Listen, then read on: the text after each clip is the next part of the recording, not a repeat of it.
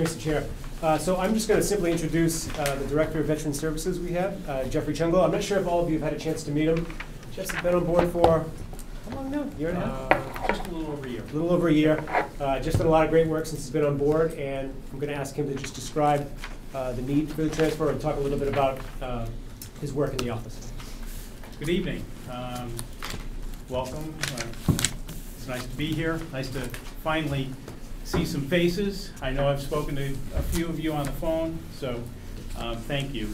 So we are seeking some additional funds to cover our budget for this year, uh, and they relate to Chapter 115, the state level veterans benefits.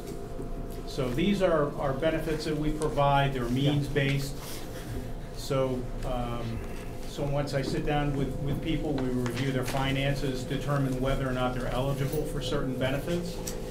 And if they are, then, then we enroll them in the program.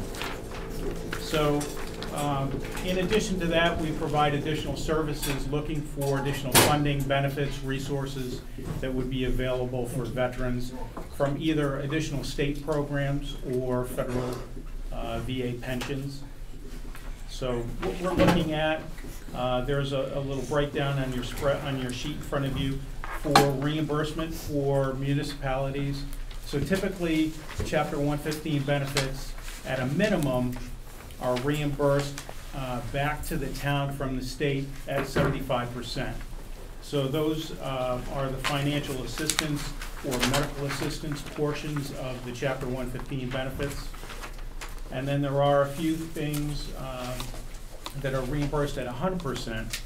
Uh, The cost of flags for graves for Memorial Day, uh, emergency housing and assistance um, pre- to prevent homelessness, uh, burial assistance, and then obviously our training and certification from the state is at hundred percent. So you can see down below that there's a, a little breakdown and a trend of historical data that relates to uh, the veteran service budget from the town and reimbursement from the state. Um, If you go back to FY twelve, uh, they were reimbursed, uh, the town was reimbursed seventy-eight percent um, for a net cost out of the total budget uh, of fifty-nine thousand one hundred and seventy-three. As we trend forward through the years, FY fourteen, uh, you can see that it's sixty-four percent. That's because the reimbursements from the state are offset by a year. So we'll, we'll continue to see those funds be reimbursed. Um, Down one more block, veterans served. So you can see in, in two thousand twelve, we had a total of forty-nine clients enrolled. And now, uh, currently, I have sixty-nine. And then we're projecting next year an increase in clients up to seventy-five. So we provide additional resources. We have a new resource center that was dedicated uh, July third last year. Um, So that's in my office. Another resource for veterans to seek benefits, services, uh, right in the town. Um, Provide mandated job counseling for veterans receiving chapter one fifteen for our unemployed vets. We assist with all the federal, state, and local benefits and resources that would be available to them. Um, And I just want to touch on an additional point that out of the uh, 155,000 that we're looking to have reimbursed, of that, 116,250 would be reimbursed by the state at a minimum. So leaving a, a net cost to the town of approximately $38,750. Um, For those of you who are kind of unaware of the type of programs that we, that we offer and services, I just want to give you a brief summary of a few instances uh, since I've come on board. Um, Dealing with providing benefits, I had a 91-year-old veteran uh, living at home. Her brother-in-law had called inquiring about benefits. Um, So she was low income, therefore she uh, qualified for Chapter 115. We were able to provide monetary support, fuel assistance, healthcare support, And then uh, additional resources, since she was qualified for Chapter 115, uh, for additional utility discounts and uh, looking for tax deferrals. So what was the net benefit for this person? Lifelong resident of Arlington, and she was able to remain at home. So that was a success. Um, Another one, a veteran had called inquiring about funeral services. Uh, The call was for funeral services for that veteran who is currently receiving hospice care at home. So both the husband and wife, low income, they qualify for Chapter 115 benefits. So kind of a sad story, but, uh, but we're able to help them. So I also filed a, a federal VA service-connected disability claim for the veteran. Um, Potentially, we'll get that review, get it approved. So they'll receive additional resources, which will decrease the chapter one fifteen that we're providing to them. And also for the surviving spouse, we'll be able to provide um, and file for a federal uh, DIC, DIC or widow's pension uh, for the spouse. So, so that's important as well. So ongoing, help reduce costs for chapter one fifteen, but be able to provide those state and federal level benefits. Um, And the last one, real quick, two brothers, uh, both veterans in their mid-twenties, uh, came in, they are technically underemployed, uh, part-time jobs, making, you know, minimum wage, still living at home with their parents.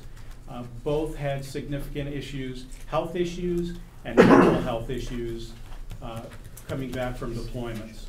So he was able to provide immediate resources for them for their health and mental health issues through the VA.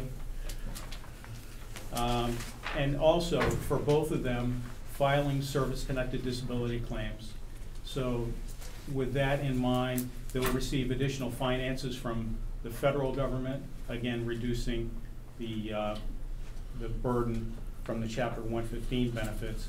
But again, to keep them back up and running, get their needs addressed, and provide them with the benefits and resources that they need. So, That's a summary. Are there any questions? So I have a question regarding a uh, veteran. Is there a highest amount capped for, or like uh, for veteran, or how much of the maximum they can get? There is, it's, since it's means-based, uh, there's a maximum fuel allowance that they would receive, which would be two hundred seventy-nine dollars a month. There's a maximum uh, assistance for housing, living, um, and then medical assistance as well. Uh, But that kind of all, e- each case is, is so individual uh, that it does, it, it's based strictly on the numbers that they provide. Okay, Brian? Um, what are the demographics of people receiving services, like what age and? Typically for our 115 uh, veterans, they're the older clientele. Um, The vast majority are living in subsidized or, you know, th- uh, they're living in the housing authority apartments. So lower income, social security only, um, for I'd say probably 75, 80 percent.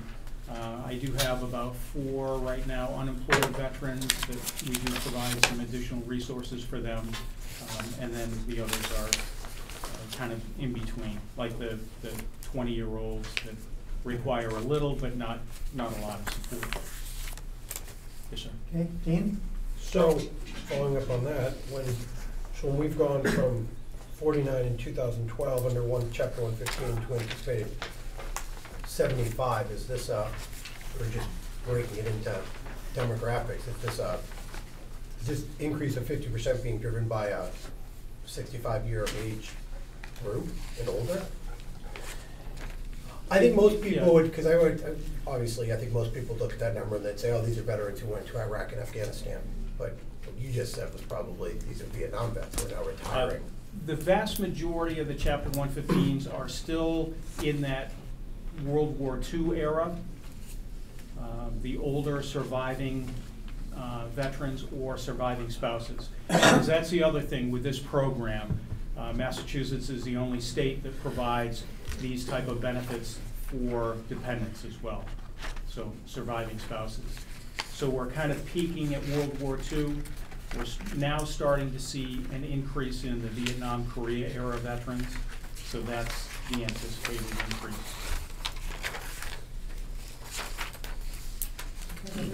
Paul? This question is, is more for the manager. How does this request for a hundred and fifteen, hundred and fifty-five thousand for the reserve fund work with other requests that might be coming down the line for reserve fund transfers? Well, I, I think at this point, it's fair to say that any reserve fund transfer has an impact on how we're gonna make decisions about covering the snow and ice deficit. So it certainly has an impact. I don't think it, uh, takes the trains off the tracks, but it impacts our decisions in which way we go from there. If a, uh, if a veteran was burned out of his house, Red Cross usually comes in one, two, three nights in a motel. Are there services or money or help you could provide? Yes, sir. Um, and, and we have. Um, we've had a couple of cases already this year where, uh, through either a home fire or some other uh, setback at home, whether it's loss of heating, um, hot water, uh, through the state, we're able to provide that emergency relief up to seven days. So we, we put them up in a local facility. Uh, we get one hundred percent reimbursement from the state. Uh, We're able to address those immediate needs uh, because there is a uh, zero tolerance for homeless vets for the state. So that's our main goal, to take care of their immediate needs. And then during that week, uh, we can look at providing additional resources or relocating them to uh, an appropriate facility. Is a vet that, that qualifies, um, just curiosity, uh, have to be honorably discharged? Yes. Okay, Okay, are there any other questions? Okay, uh, the request is for hundred and fifty-five thousand dollars, uh, for veterans' benefits to be going to the Veteran Services budget. So moved. Second. Okay, moved and seconded. Is there any further discussion or questions? All those in favor, please say aye. Aye. Opposed? Okay, unanimous?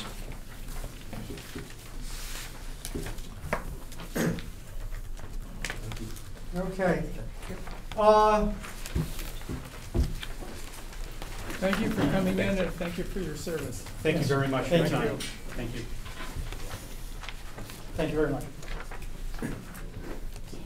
Okay, uh, Facilities Department.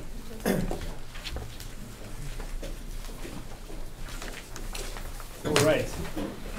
So I think as most of you are aware, uh, as contained in the budget proposal, uh, is the creation of, or at least the initiation of the creation of a facilities department in the FY sixteen budget. Uh, So there, there's some detail contained in the budget book, but we wanted to be able to provide the finance committee with a detailed presentation about really the multiple years worth of work that's been put into this concept by the building maintenance committee and provide you a little bit of the thought process, the background, and the reasoning behind this year's proposal. Uh, So I'm going to give a brief overview, go through a few slides. Uh, You should have a presentation that was handed out in tonight's um, materials. Uh, And then I'm going to have Andrew uh, go over a few of the slides, and then also ask Ruthie Bennett, who some of you may have met. Ruthie Bennett's the town's regional energy manager, who we share uh, with the town of Bedford. Uh, And she's also going to go over several of the slides within the presentation. Also, before I get into it, uh, I want to just recognize the members of the Building Maintenance Committee that are also here tonight. So Andrew and Ruthie sat on the committee. We also have Barbara Thor- uh, Thornton, who sat on the committee, and was really the the brainchild and the impetus behind all of this effort, uh, starting on the Capital Planning Committee. Uh, And we have Vince Serbona as well. And Christine Deschler, the most important.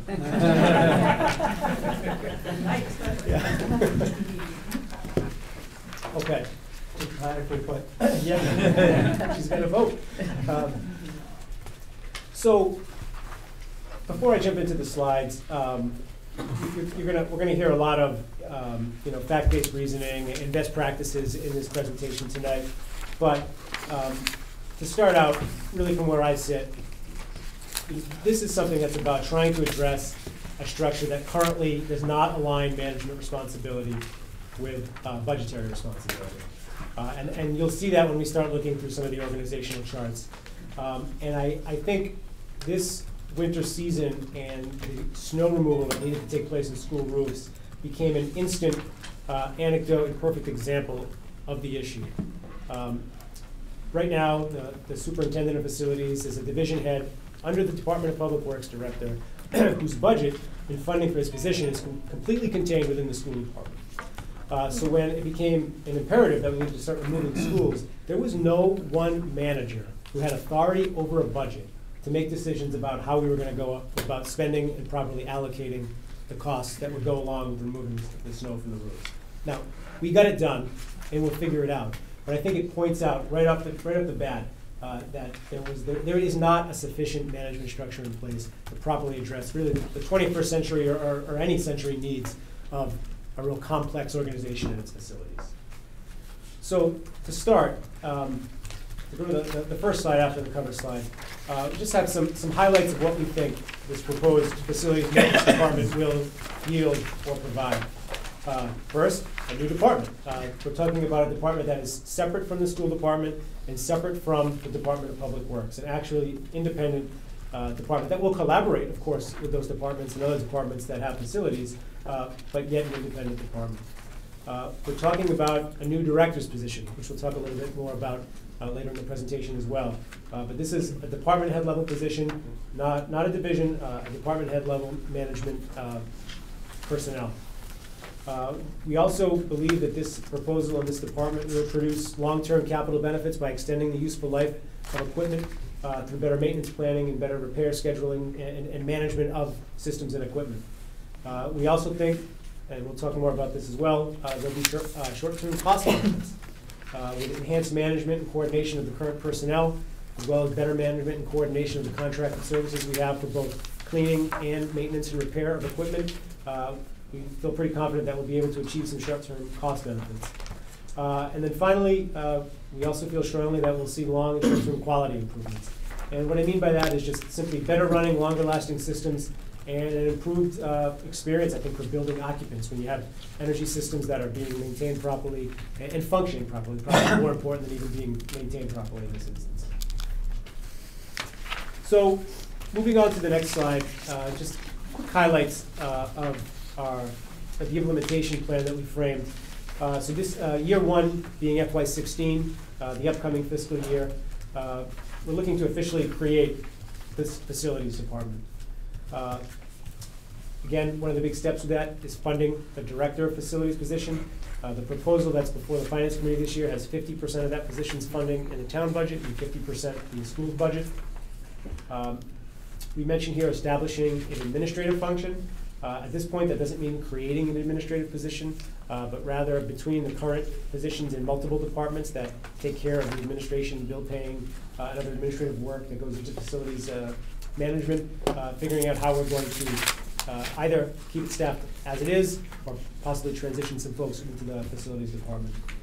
Uh, We're also talking about, and we've actually already started this a little bit, consolidating the reporting structure for all our custodial and uh, maintenance personnel. Um, We have uh, custodians not reporting all to one, uh, to one source, uh, instance, and again, we'll get into more detail. Library custodian reporting to the library director and not the director of custodians, or the custodial supervisor for, for the town. Uh, That's something we've already begun to address. Uh, And also um, contracted cleaning services, not reporting directly to a custodial supervisor, but rather to individual department heads. Uh, That's something, again, we've already begun to address. Uh, And then also, we're gonna start looking at beginning consolidating maintenance budgets under the facilities department in year one. Year two is when, um, if we're successful in year one, we'll want to move to actually take everything that you see in town budgets and the police budget, the fire budget, uh, DPW budget, move it into facilities, and then everything you see in the school budget that's related to facilities, move it into facilities and actually create this one consolidated department. Uh, Moving on to the next slide. Uh, You see here, we have long-term facilities management, mid-term facilities management, and short-term facilities management. And we've really highlighted midterm facilities management. The work of the committee has really shown that, uh, you know, long-term, the capital planning committee has a very robust process in place in terms of scheduling and funding uh, capital asset upgrades. Uh, Short-term, uh, is, being performed pretty well, but there can be some improvements, as you've seen mentioned here. One of the real big focuses that the committee has looked at, and one of the sort of the core pieces of this proposal is improving uh, midterm facilities management. So you can see some of the, uh, the benefits that have been uh, put forth or projected by, by the committee.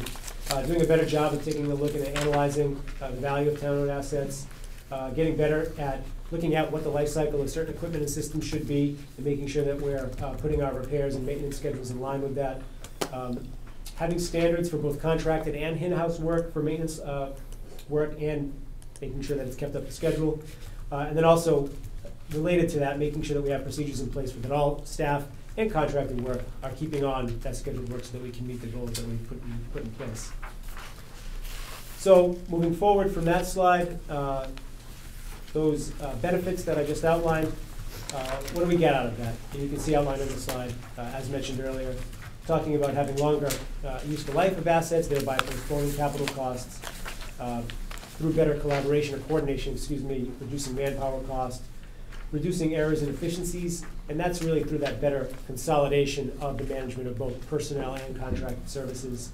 Uh, Specifically in regards to contracted services, being able to make sure that we're not uh, being overcharged for work that's being done on our systems by a contractor, uh, improving the quality of the work that's performed, uh, and also overall improving and maintaining the condition of the facilities.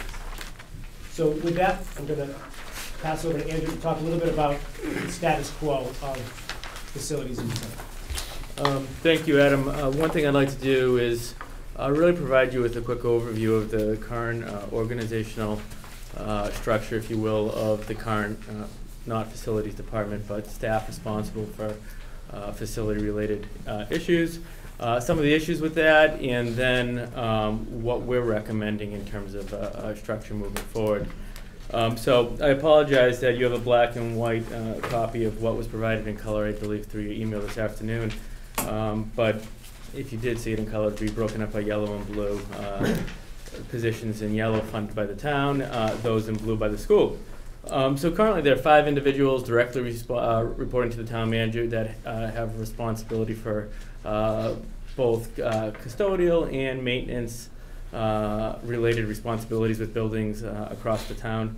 Uh, quickly moving through them, uh, begins with the recreation director, uh, who has responsibility for um, the, the Ed Burns Arena, um, the custodian uh, in that, or the custodial support services in that building, including a cleaning contractor.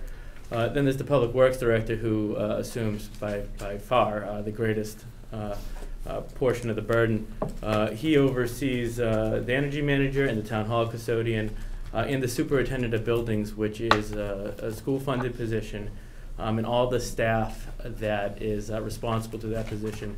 So that includes the two uh, primary divisions within uh, the school department, uh, the custodial division and the maintenance division. That consists of custodians, uh, both day and night, uh, and uh, more maintenance uh, type personnel, including a plumber, a plumber, of electricians, um, um, and carpenters. Uh, One thing Adam had alluded to uh, early on uh, was that while the Public Works Director assumes uh, all responsibility associated with uh, the maintenance of uh, town and school buildings, he doesn't have direct uh, responsibility for the budget. Uh, A big portion of that, uh, the lion's share of it is actually funded through the school department. Um, But just to talk about a little bit of the decentralization uh, and the fragmentation, if you will, uh, the town assumes all responsibilities with regard to HR and benefit management for these employees that are funded in the school department, all hiring, recruitment, um, and then uh, the management of uh, all the- all the employee benefit plans. So I'm going to keep going right across the org chart.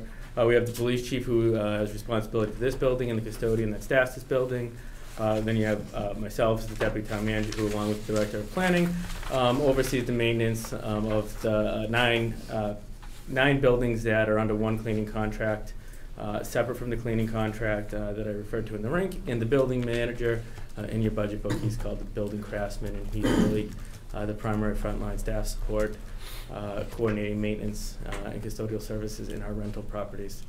And then lastly, um, the library director, uh, who oversees um, the maintenance functions uh, associated with both the Fox and um, the Robbins. So there's five people that report to the manager, but when we actually peeled it back a level further, there are 11, uh, 11 either department heads or administrative, administrative staff, excuse me, that uh, have a certain level of oversight of uh, more than 40 buildings. Um, and in the next slide, uh, this, this will be broken down. Uh, like I had mentioned, there are currently three separate cleaning contracts supervised and procured by three uh, separate individuals. Um, there's a, a lack of uh, formal oversight uh, of both staff and cleaning contracts, and uh, the large part of that is supervising staff may often work a different schedule than a custodian in a building, or the hours of the cleaning contracts. Perfect example is town hall. Uh, we close at four o'clock, and uh, the cleaning contractor comes in at some point after that. Um, one other uh, major component is uh, facility capital planning uh, and budgeting is decentralized. Uh, I sit on the capital planning committee along with Robert Thornton and our chairman Charlie Foskett. And one thing that's always asked is how department heads go about identifying capital projects within their facilities. How do they prioritize them, and then how do they come up with a budget for them? Um, I, I think our department heads uh, do do a good job, but uh, one of the questions always asked is, was there input for the facilities? Uh, and because of the decentralized nature of our approach, the answer is often no. Um, and then lastly, a huge gray billing burden. Um, I don't expect uh, too many of you, uh, aside from your meetings with department heads, uh, to have a full understanding what the gray billing process is. It's kind of unique to Arlington.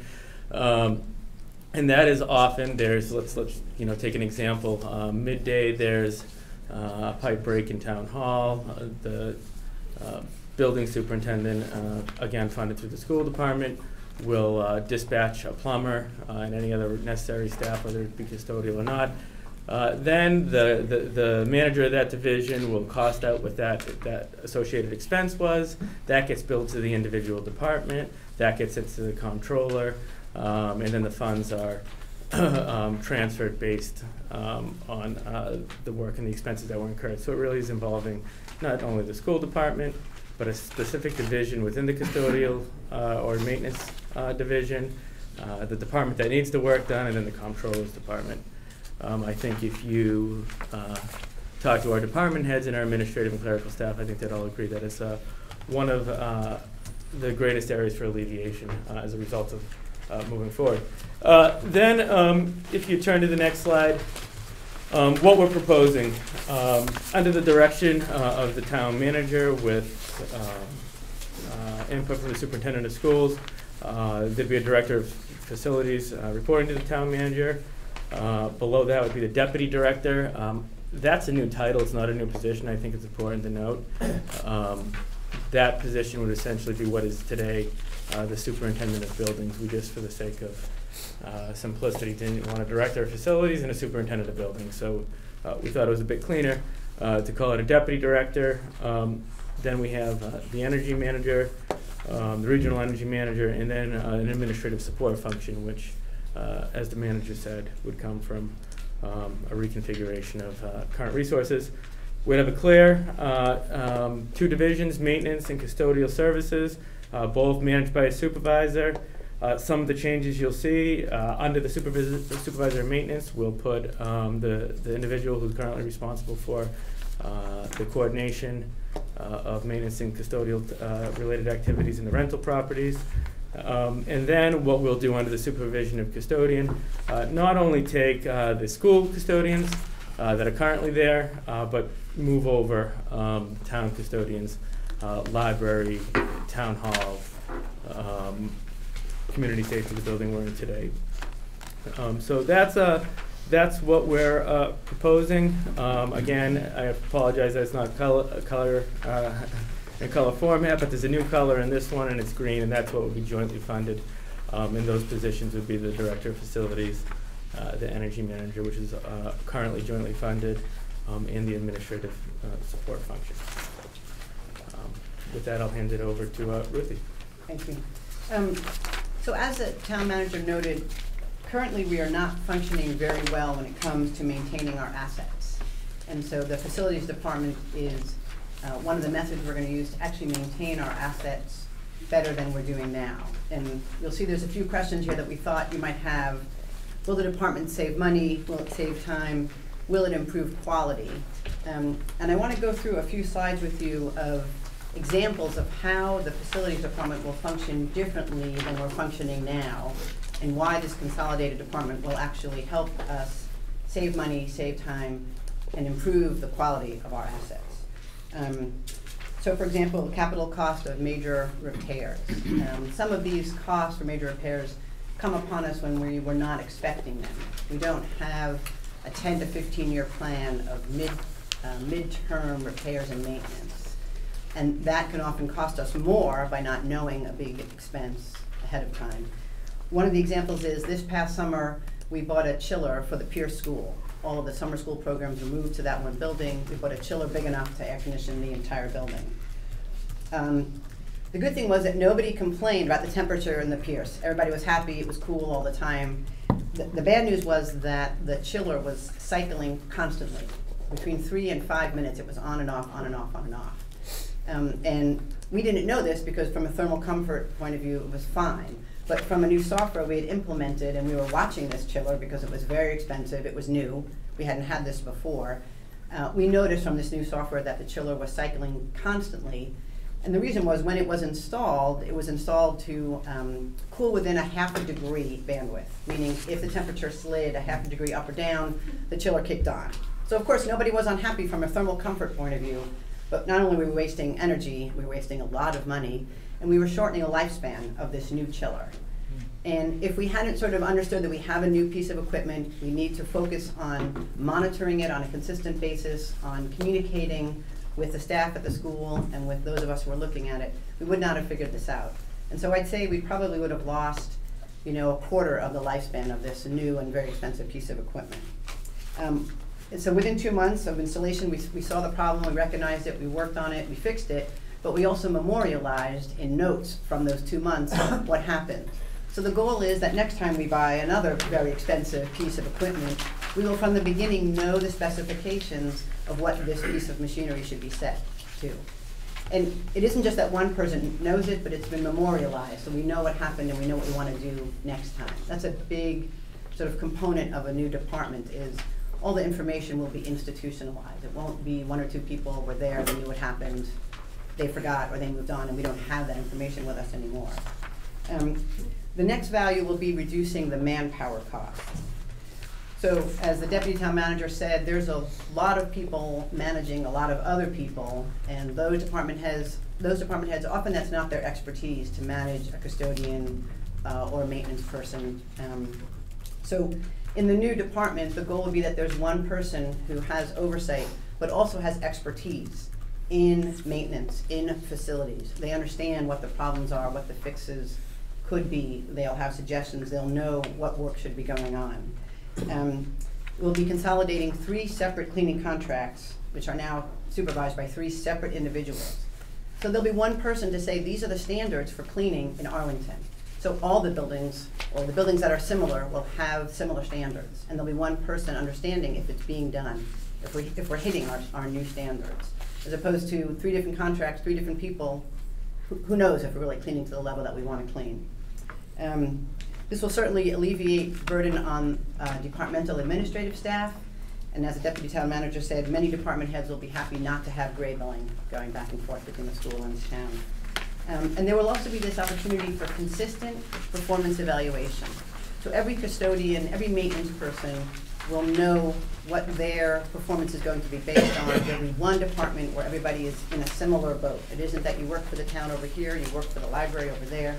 There'll be a more um, uniform understanding of how you are evaluated in this department.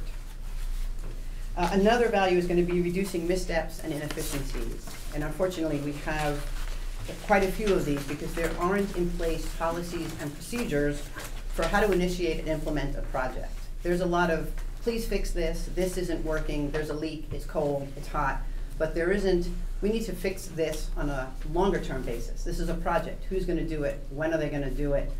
What's an emergency that would take that person off of that project to go do something else? That kind of calling someone off and on happens multiple times in a day. And not only do the projects not get done, but the staff who's doing the project feels sort of torn in different directions. And they're not, you know, this is my editorial, they're not as motivated and as excited because they know they get here, they set up, they're working on it, they get a call, they have to go somewhere else. So there's a lack of uniform policy and procedures for doing the work we need to do and knowing when someone needs to be pulled off to do something that really is an emergency. And sometimes we do incur extra costs for people coming, doing a project, they have to stay late because they didn't finish the first project. Um, So we're trying to lower the number of missteps and the inefficiencies within our own staff. Uh, One of the big goals is gonna be to reduce cost for emergency repairs. Um, I'll give you an example. We had a thermal comfort issue at the middle school. And there was, um, I think it was a basketball game that evening, so parents and students were gonna be there, and we had to fix the heater. Basically, the rooftop unit in the gym was not working. We did call our third party to come in and fix it. They came and they sent somebody, you know, we sort of all relaxed, it was gonna be fine by seven o'clock. Unbeknownst to us, in the middle of the day, there was an emergency at the library. They also called the third-party contractor, who told his person from the middle school to go to the library. There was no one to blame, it was just that that's not probably what we would have chosen, right? The library could have waited, but the middle school could not wait. So there wasn't um, a, a clear path. And in the end, we were fine, got the person back, and, you know, everybody worked with everybody, but there was a lot of juggling and moving back and forth, and no one to be the person who sets the priorities for that day, or even those next four hours. There was no one to say to the third-party contractor, when you get a call from this one person, that's where you go. When everybody else who has your phone number calls you, you need to talk to one person, or, or one or two people. But there's a familiarity with our staff and with our third-party contractor, so everybody feels able to call them, but they need to be managed by us. I mean, we're gonna pay them, so we wanna manage where they're gonna go. Um, Improving the quality of the maintenance work, definitely right now, certainly for some of the custodians, they don't really see the person they're working for because they're working after five and the person has left at four. Um, So they're not sure exactly what to do. Someone leaves a note, tells you they didn't like what happened. It's not a great way of communicating. Um, There's also, like I said, project oversight. We'll set up a project that'll take four days and we want to have a policy and a procedure about how to do the project. Who to tell if you have a problem, what to write down at the end of that project. Can we memorialize what was done on this piece of equipment? So that the next time someone calls and says, it's too cold in this one room at the Pierce, we can say, well, we already looked at that unit ventilator. And remember the last time the problem was X and we did Y. Right now, if the person who fixed it isn't in the building that day, nobody knows what happened. So we haven't institutionalized and memorialized our own work for us to go back and say, we fixed that unit ventilator one time already. Why, is this the same problem, is it a different problem? So we're losing our own value of, of knowledge by not having one department where things are recorded. Um, and one of the biggest goals and value for the, for our town is gonna be improving the condition of the facilities. So we have a long to-do list in many of our buildings of what we'd like to do. Painting, flooring, appliances that should be upgraded, the building systems. Some of them get done when they come up in the capital process. Some of them get done when there's an emergency and that thing broke. But if you're not big and you're in the capital planning process and you're not an emergency, you kind of get lost. So the painting doesn't happen. The carpeting in the classroom gets worn out and doesn't get replaced when it should. So the goal is to have a ten-year schedule for all of our buildings of, of midterm maintenance, not a huge purchase like a chiller, but flooring and painting and mid-size appliances. When those things should be turned over and, and redone or, or purchased new. Not to say that if there is an emergency, that project might not get pushed, but at least it's in the queue, right? And if someone says, I really want this classroom painted, we say, you know what, you're in year three, it's coming up. So we have a schedule, it gives people a peace of mind that we're looking at their building and their classroom, but there isn't sort of jumping ahead and everybody kind of angling at that moment to get what they need. There's a system, you know, and we will discuss the system with all the department heads to say, this is where we think your midterm repair and maintenance has to happen. And, you know, it won't be just the facilities department, it'll be in concert with all the department heads at clearly the school, you know, uh, committee. But it'll be known and understood. So if you want something painted or you need a new carpet, it'll be in the queue. It won't be, if you can squeak the loudest, you know, you'll, you'll get in front of the queue. So, Thank you, Ruthie. Um, one thing I'd like to add is, uh, the recommendations before you tonight, uh, the committee spent uh, a considerable amount of time, um, thinking about and, uh, by no means made, uh, the decision to include any of them, uh, in a vacuum, but rather, we looked at what Arlington considers, uh, some of our comparable communities, um, and uh, whether or not they had a facilities department, and uh, specifically how they deployed their resources as it relates to um, facility uh, maintenance and management. Uh, so what I did is I've uh, provided a list of um, those communities. It's by no means exhaustive, but what I've done is list the community and the square, the total square footage of their buildings. They're all currently, um, they all currently have a facilities department. Um, as you can see, the average of those communities is uh, just about 1.3 million square feet. Uh, we're slightly above that at uh, one, uh, 1,322,000. Um, so this is just to give you an idea of uh, what other communities are doing, uh, and in each instance, it's working. It's working well. Um, and when we talk to uh, both members of the facility staff and uh, the management of those communities, uh, they all allude to what a benefit it has been for them uh, since they've implemented it. So, thank you. All right, so just the, the final slide, um, I'm sure one of the major questions would be, how, how will we know if we're successful and how are we gonna measure our effectiveness? Uh, so, really, what you see here is, is a reiteration of a lot of the concepts that, uh, we- just spoke about. Uh, and these are the things that we're gonna be looking at, uh, if this facilities department is implemented, uh, as our, our, our benchmarks and our tests for whether or not we are effective. Uh, we're gonna look very closely at our third-party personnel costs. Uh, those will be easy costs to look at year over year, and we, we do expect to see reductions in those costs. Um, You can see, uh, you know, early detection of issues, uh, and then later down you see, uh, memorialized details of work completed and new software, uh, that will allow for more detailed, uh, data to be provided. Those all go hand in hand in that, uh, we're gonna be, be able to collect all of this data more regularly and then do some trend analysis of whether or not we're seeing less emergency work, uh, and more implementations of, uh, successful, uh, scheduled work. Um, We'll be able to see, uh, not necessarily immediately, but over time, uh, how asset life is lasting and whether or not we're seeing any improvements, uh, and how long, uh, high price, uh, you know, capital assets are lasting. Um, We'll also be able to see, uh, uh, or benefit at least from, and make a, a management determination whether or not we're getting a better coordinated response, uh, to, to issues that come up, like taking snow off roofs or chiller issues or other problems, uh, that we face. Um, And then the, the final uh, part we hear is overall, the manpower reorganization is going to have a departmental budget that leaves a fiscal trail that we can monitor year over year. Uh, So with that, uh, that closes the presentation, and happy to answer any questions of the committee. Okay, that's great, thank you very much. Tom? Would this new position, Director of Facilities, hold a seat in the permanent town building committee? That's a good question. So the, the enabling uh, bylaw for the PTBC would have to be uh, changed, but I would absolutely think they would have to, yeah. Because the example of the Children's Pierce School, if we had somebody like that and they started that committee, they would have known that Chiller was only designed to do a certain classrooms and to operate certain hours. So if you did hold a seat and this came up, he would have recognized it right off. Yeah, no, I think that's fair. Yeah. And I would think he'd want to be involved in the creating of buildings, whatever we do. The current superintendent of buildings sits on Yes. the PTBC, so whe- whether we, you know, have a loose translation of the current language, or we change the language to represent the director, one way or the other, I think it's appropriate. Okay, Reed? questions, uh, because I think there should be a lot of equipments uh, in the different buildings, right? Do you have any inventory system of uh, like when the equipments were bought?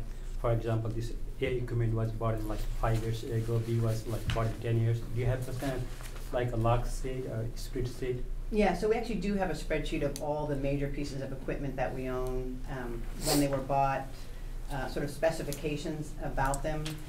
But that literally is in a spreadsheet in one person's computer, so it's, it's not utilized Yeah. very well, but it does exist on like a simple level, yes. I mean, that might be the easiest way to go and log in, right? If somebody goes and repair that, then you can pro- probably log in when it was repaired and Right, so they're actually, the, the school, um, bought something called School Dude, which is a software program that does work orders. And one of the values that it has is a way to have a spreadsheet where you can do, it's set up for that kind of thing. This is when, what the repair was, who did the repair, what they did, exactly. So we're trying to sort of grow into a more sophisticated spreadsheet that can handle that exact situation. Okay, Ken? Uh, What would be the number of personnel in this department?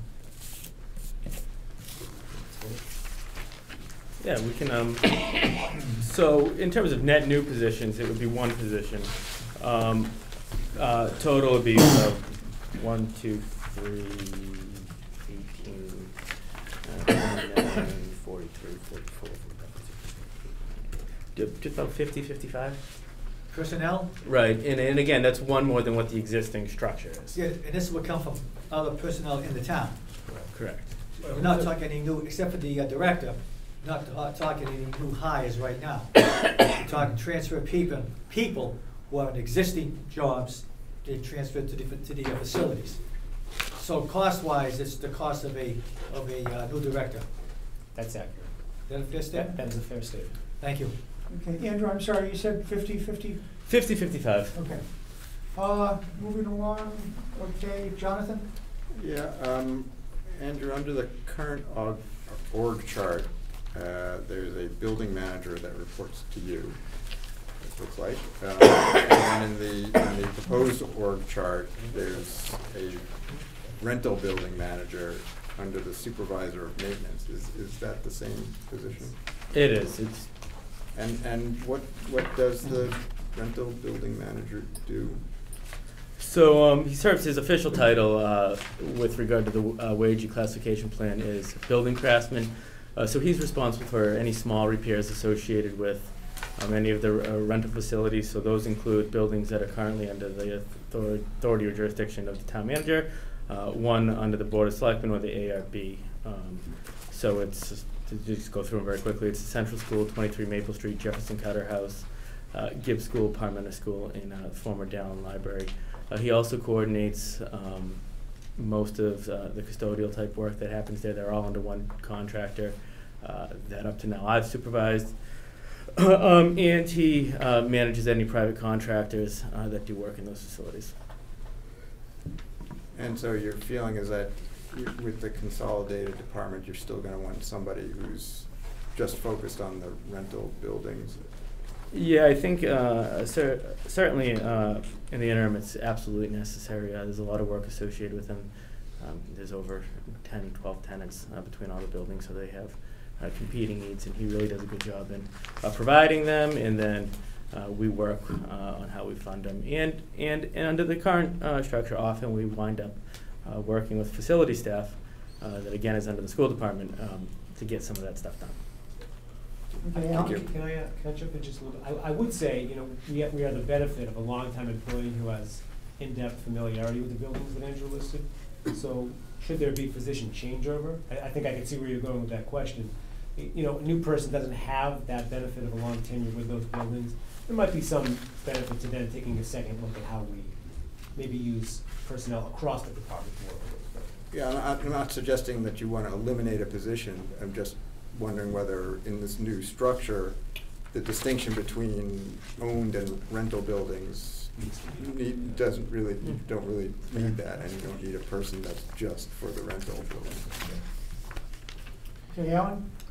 I think it's an excellent idea, and I appreciate all the work that's gone into it. In 2020 hindsight, you wonder why it wasn't done a long time ago. But I have two questions about scope, and I think you've already answered one. This does include the redevelopment board properties, the Right. schools, it covers that. And the second one is, where does the facilities end? Does it include the front steps, the landscaping, the sidewalks? Um, I'm gonna say, uh, all, all the way, all the way out, the land, the landscaping. To the street? Yeah, sort of? yeah. Okay, John?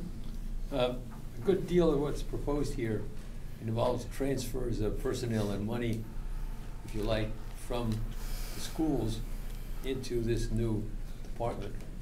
And uh, when you described how this was developed, I, I, maybe I missed it, but I didn't know that, didn't realize that there was anybody involved uh, with the schools, or a representative from the schools. Has this all been cleared with the superintendent, et cetera? Yeah, so Diane Johnson sat on the building maintenance Oh, committee. okay. Uh, so she, she was highly involved. Uh, it, it has been agreed to by the superintendent. They've included funding for half of the position in their proposed FY sixteen budget. Uh, and then if we were successful in creating the position, creating the position, uh, what I would do is sit down with the superintendent, uh, hammer out an MOU between the two of us in regards to how the new, uh, framework would work, and that would set the stage for FY seventeen and actually moving the budgets out where they are now and building a new budget. Okay, Mary Margaret? So for example, with the library, you'll, you'll take that um, custodian and the con, the cleaning contract out of there, but then will you save money because you maybe have to pay a differential for him to work nights or, and weekends, but wouldn't be overtime like there is now? But did you look at that? So the, the, the current individual who staffs the library would remain in the library, working his normal schedule. Um, we're not proposing moving him out or. Right, but would it save any money though with the new way of managing the time and? In terms of backfilling his position or after-hour Or, events? yeah, or not having overtime because his hours are this now, but he gets a differential for working weekends instead of having to work overtime, for example. That, that level of uh, budget impact, we, we haven't really looked at yet. Uh, All the um, library maintenance money, as, as you uh, know, remains in the library budget this year. Uh, Mhm. waiting to see the outcome of that, but that will certainly be a consideration.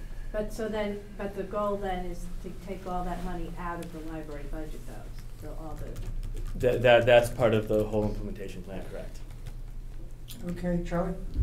So, first thing I'd like to say is that the presentation was really great. It's very, very well done, and uh, I think this is a fantastic idea.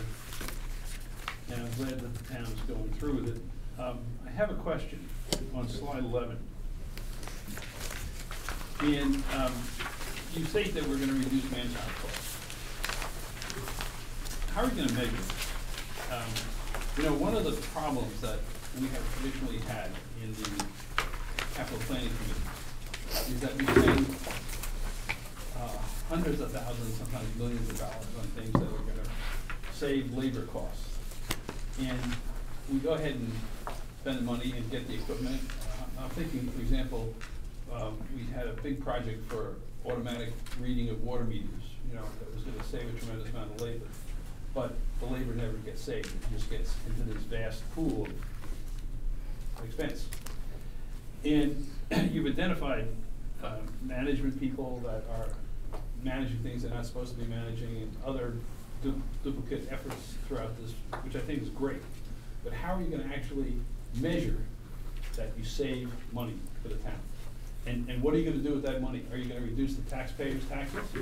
What, what is, what's the end game here?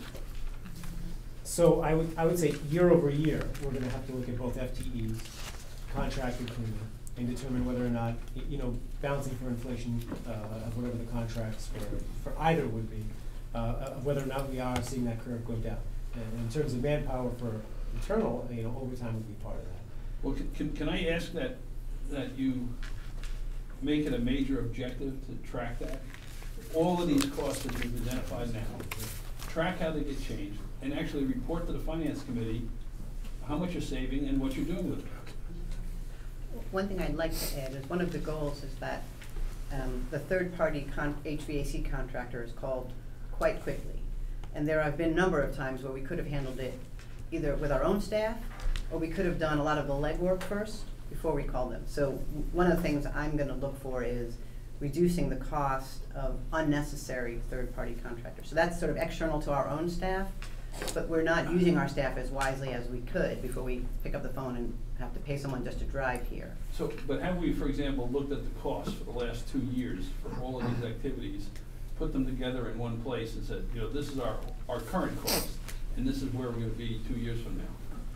We have looked at snapshots of that, and then when we do create the consolidated department, absolutely, that will be in one line. Um, I, I wouldn't say that today we've set goals of where we're gonna be, but I think once we have a department structure in place, we'll absolutely have to set those goals of where we think we should be. Thank you. Okay, when, um, okay, so the school department is on board, obviously, that's the, the biggest part of this entire thing. Um, town meeting would be on board when they approve the facilities department in the budget process, and the, and the departmental head? Is that what you're looking for, or from town meeting? Yeah, it would be really, it would be approval for the funding of the facilities director. Okay. Um, so once you, uh, that goes, you go back to the schools and set up the structure, and the, you know, if money is shifted out of the school department into the, uh, this budget, obviously you've got to sort of revamp Yes. How the whole four, five-year plan divides up their money and such. Okay. Um, You're memorializing all this knowledge. Um, from my vast experience as being the facilities manager of my church, which I, I happen to get when I missed that meeting. We created, we just, you're probably doing the same thing, but we created a website that's just for property. And everybody has, everybody who's supposed to has access to it. And all the contracts go up there, and, and I'm, you know, this is probably what you're gonna do, but, uh, it has worked, you know, amazingly well, because before this, all of the stuff was in dusty boxes Yeah, all over the town, all over the church. Yeah. And, uh, uh, you know, a separate website really is sort of cool way to consolidate everything and put it together, so, just a thought. Um, Dick? Does this mean all your craftsmen and uh, custodians come out of the school budget and go into here?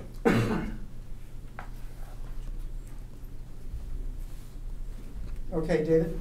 I, I just, um, I wanna thank you for your presentation, and just going back to, to Charlie's point, um, I've, I've been, ar- I'm an old time, I've been around a long time, we had a position in the town of Arlington called Director of Properties and Natural Resources. And that position was cut, uh, um, for two reasons, one for monetary, and, uh, or it was a reorganization. In a sense, that position is coming back, in a sense, with this, am I correct? I, I think without the natural resources, uh, Ben, Right. correct. Yeah, the properties. Right. really- Okay, uh, Stephen?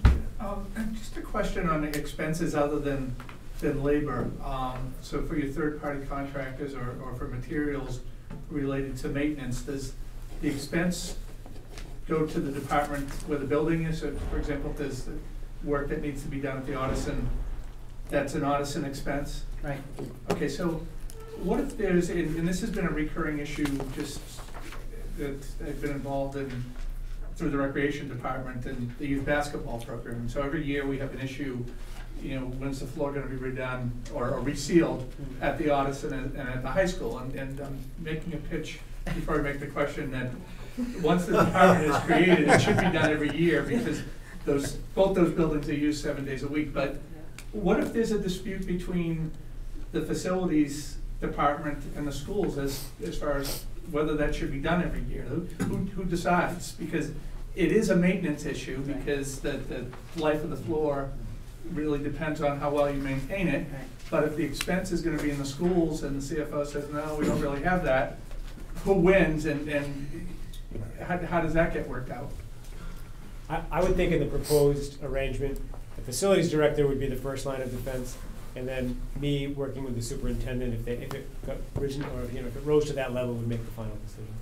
Because I, I see that even, and I think this is a great idea, but after years of, between talking to Joe Connolly, who recognizes how many programs are in the building, talking to Mark Miano, who understands that there, there's an issue, and then being told, no, there's not money in the budget, it, it's not something, you know, we don't need a new structure to know that that should be done every year, but we do need to prioritize how that works. I, I hope going forward that if more money is needed for maintenance as a result of this department, it gets put in there, because there's no sense in creating the department if you're not gonna maintain the buildings. I- You, you know, you, see, you raise an interesting point with all this. With the facilities director, you have a department head level position whose priority is going to be the facilities. So when making capital budget requests and then operating budget requests, we'll have facilities first. The truth is, you know, when a police chief or a school CFO or a deputy town manager is making a request, the priority might not always be the facility. There's myriad priorities. Right. But a facilities director's priority will be the facilities. So, doesn't mean it's gonna get funded, but I think you have a better chance of having a person that will be more focused on the facilities and not have as many other balls in the air at the same time when trying to make a request or decision. Which is good, just one uh, follow, and I, and I think, I hope there's better coordination, because the schools may not realize how much the recreation department is using the facilities on weekends or at nights and, um, through the growth of different programs. And while it's, it's a good thing for the town, because there's more revenue through these outside rentals, it's not good if, you know, a group uses the facility and says it's no good, we're not coming back, or, or there are a number of complaints. Okay, Paul, uh, sorry, Dean and then Paul? Oh, I I have a handful of questions, I'll try to move quickly. Um, Director, you have a new position, Director of Facilities, you're converting the Superintendent of Buildings into the deputy director, you're adding a bunch of positions under them, so they would probably have a position reclassification next year. So Carolyn would be in that request, because you're adding a whole bunch of stuff under their purview. Is that a fair assessment? So I can here chart, the org chart on page six, to the org chart on page eight. There's a series of responsibilities above right now, the superintendent of building, you're now putting them under. So it's, you're gonna have a new position, and then we're gonna have a reclass at some point. It's an incremental cost, but I just wanna make sure we're on the same page. You Just, just speaking to superintendent of buildings, deputy director? Yeah. Yeah, then, then yes. I- You're gonna I reclass the Whether it position. be through, you know, yes, the answer is yes. Okay, um, ring cleaning, same chart, when I look from s- six to eight, ring cleaning dropped off the org chart. Is that because ring cleaning is gonna be outside of this? New thing, or is just an oversight? Yeah, no, it's, um, so we have three, uh, cleaning contractors currently, um, and I broke, they've, they've been broken out in the current org chart, um, and they've all been, uh, put together into all third-party cleaning contractors, school and town, considering the rink, uh, cleaning contractor, a I'm town sorry, contractor on right. All the ones to the right the bottom, the long, up the old long one. Uh, no, no need to manage energy, or, I just, I'm curious why you wouldn't have taken that position and put it up under you, so it could have responsibility for both public works and facilities? Or do you feel like the bigger challenge is facilities? Well, I would say, and- and Ruthie could probably speak to it better, ninety-seven percent of her efforts are facilities focused with s- some smaller Okay. focus on vehicles. Uh, you know, whether it be HVAC boilers, uh, e- everything that we do in terms of green upgrades is, uh, is facilities focused. So, uh, again, ni- ninety-seven, ninety-eight percent. Right, there's, there's some vehicles, but it's, we're Okay. looking for a green lawnmower, but mostly I'm doing, uh, boilers and Yeah. chillers and. All right, and then, so the last question I have is you're creating two separate, um, creating sort of a, the, the structure is created outside of Public Works It is, that is correct. right now. And so now you sort of get worried about the unintended consequences of having, we talked about, we, so we just talked about a whole bunch of facilities departments that aren't unified and coordinated and inefficiencies and stuff like that. And now we're gonna have a facilities department that's separate from a Public Works department. So do we, do we have any concern that we're gonna create a whole new set of non-unified, not coordinated problems?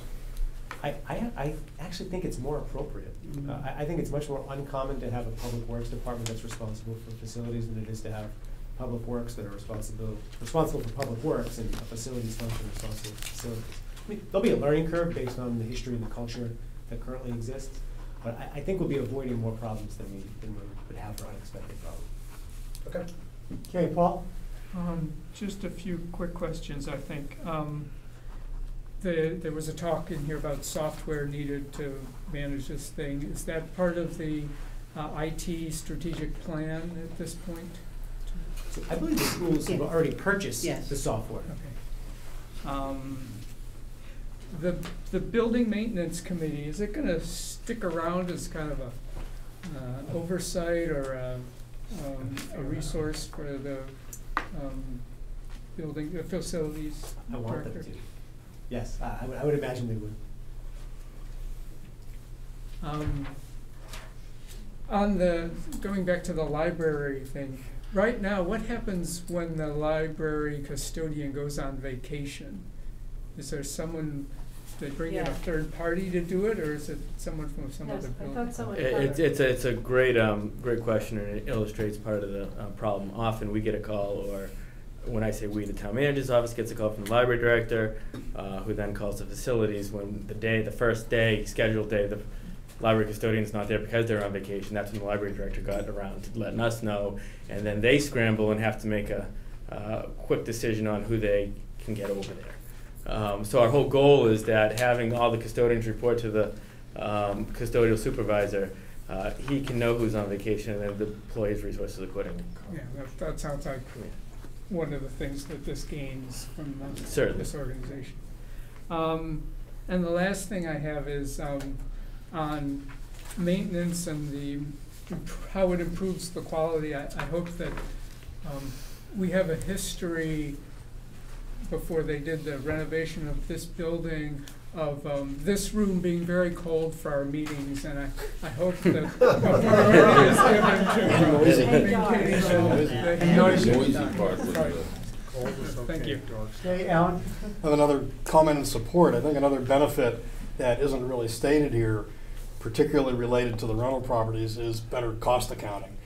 Remember, years ago, a few years ago, we were debating um, about disposition of certain rental properties, and I remember a famous moment of a former town manager and a former director of planning where the town manager insisted that we were losing money on some properties, and the director of planning insisted we were making money on some properties. Now, the revenue side of it's pretty easy, but the cost of the facility is pretty difficult. So I think unifying this um, will, will certainly make the cost accounting better, including depreciation and other things like that. So I would, I would call that a benefit of this. Okay. Uh, Carolyn? So on your org chart, it has the energy manager listed as point six, but I Yeah. thought you were point eight eight now, or point eight six. So I work um, basically one day in Bedford and three days in Arlington. Not every week, it's like that, but general, it's Point six here. point six here, and then I'm point, basically one day over there. Okay. So then why, why does the reclass have you as an FTE of point eight eight? Oh, it's an FTE of point eight eight, which is the same as point six? No, no, so No. this is her, this is, Bedford this would be the energy manager's Arlington representation is point six, Right. and the remainder is their Bedford representation. The way it works, we budget them at that, and then Bedford gives us Oh. the so offset. that's So why to, it's- to really okay. show the, the time the energy manager has in Arlington is the point six. Okay, so we're, they're, they're paying us. Right. Okay. Okay, Dick? Is this gonna stop all gray building between the departments thing? Is my asking, the school department has a revolving fund for buildings. They get money from all their rentals, and they can't spend it only on maintenance of buildings. You know that one? Okay. How are you gonna, are you gonna be able to take and, and bill back maintenance out of this new department to that, on that? So when we, when we sit down for FY seventeen to take the money out of the school department. Yeah. And from the town, I, I was actually thinking about that part you're mentioning today. We're, we're gonna have to figure out exactly what they're spending total, you know, out of this general fund and out of that revolving fund, and figure out what the appropriate portion is. Yeah, a lot of money there. Okay, Len? Yeah, I was gonna ask about the revolving fund, but, um, also as far as, as the cost accounting, I mean, the school has to report to the state what they're spending in total, so there has to be some estimation of how much of this facilities department is going towards the school. And I think also for the other departments, it's still useful information to have. We already have hidden costs with insurance and health benefits. We don't really know what our library costs as a result because those costs are hidden. So if we hide more costs, I, that, that gets us even further away from the goal of finding the true costs of our library and our schools. So if you're, if you're co- developing a mechanism to track the costs for the library, for the schools, it might be useful to continue to, you know, unofficially bill back to the library and the other departments so we know what the cost of those operations are. So this software program that the school has invested in does that. Every time a work order happens, it's how much time was spent, who did it, what they, you know, all of that happens. It's just we don't have that deployed everywhere, Yeah. But there is that software that ha- answers that exact question. So you can then go back and just query by library time, you know. We just have to expand to that, to that situation. Be interested to see how the age of the building relates to the amount of maintenance, just to. Or the use, right? I mean, some, Right. the Yeah. middle schools use way more than maybe the elementary schools. It'd Be interesting over time to take a look back and see Yeah. how you can ask questions of the software of what's being done. Okay, other, other questions? Okay, well, thank you very much for your presentation. I'm hoping that this will be as wildly successful as the development of the capital plan back in the nineteen eighties. Wow, that's a hot benchmark. And you're involved with both, Barbara. Yeah, they graduated. Okay, thank you for coming, appreciate your time. Okay, um, Dick, I'm glad you mentioned that fund. Keep in mind, all these little pots of money around. Big pot. Big pot.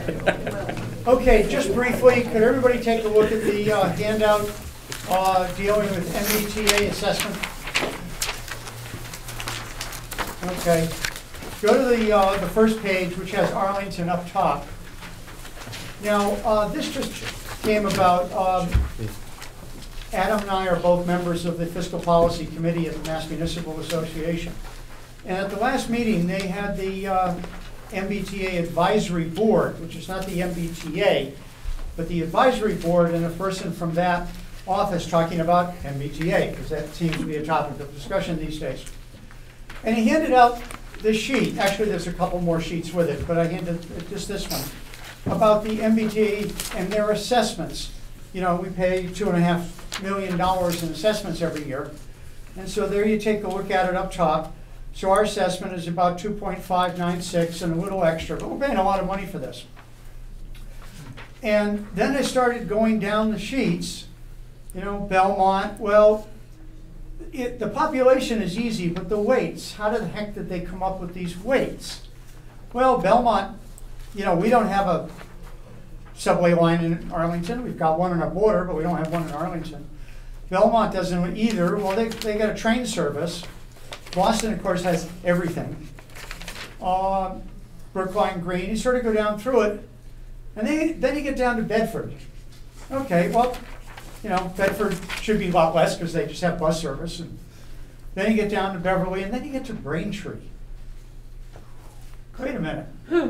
Braintree's got a major terminal inside of Braintree in addition to all the bus service, and they pay one third hmm. of what we pay. Okay, now my, my blood pressure starts to rise about this. Wait a minute.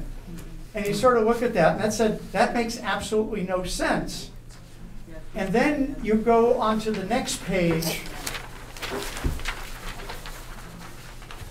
Okay, I didn't put a next page on mine, I'm not sure why. And you get down to Quincy.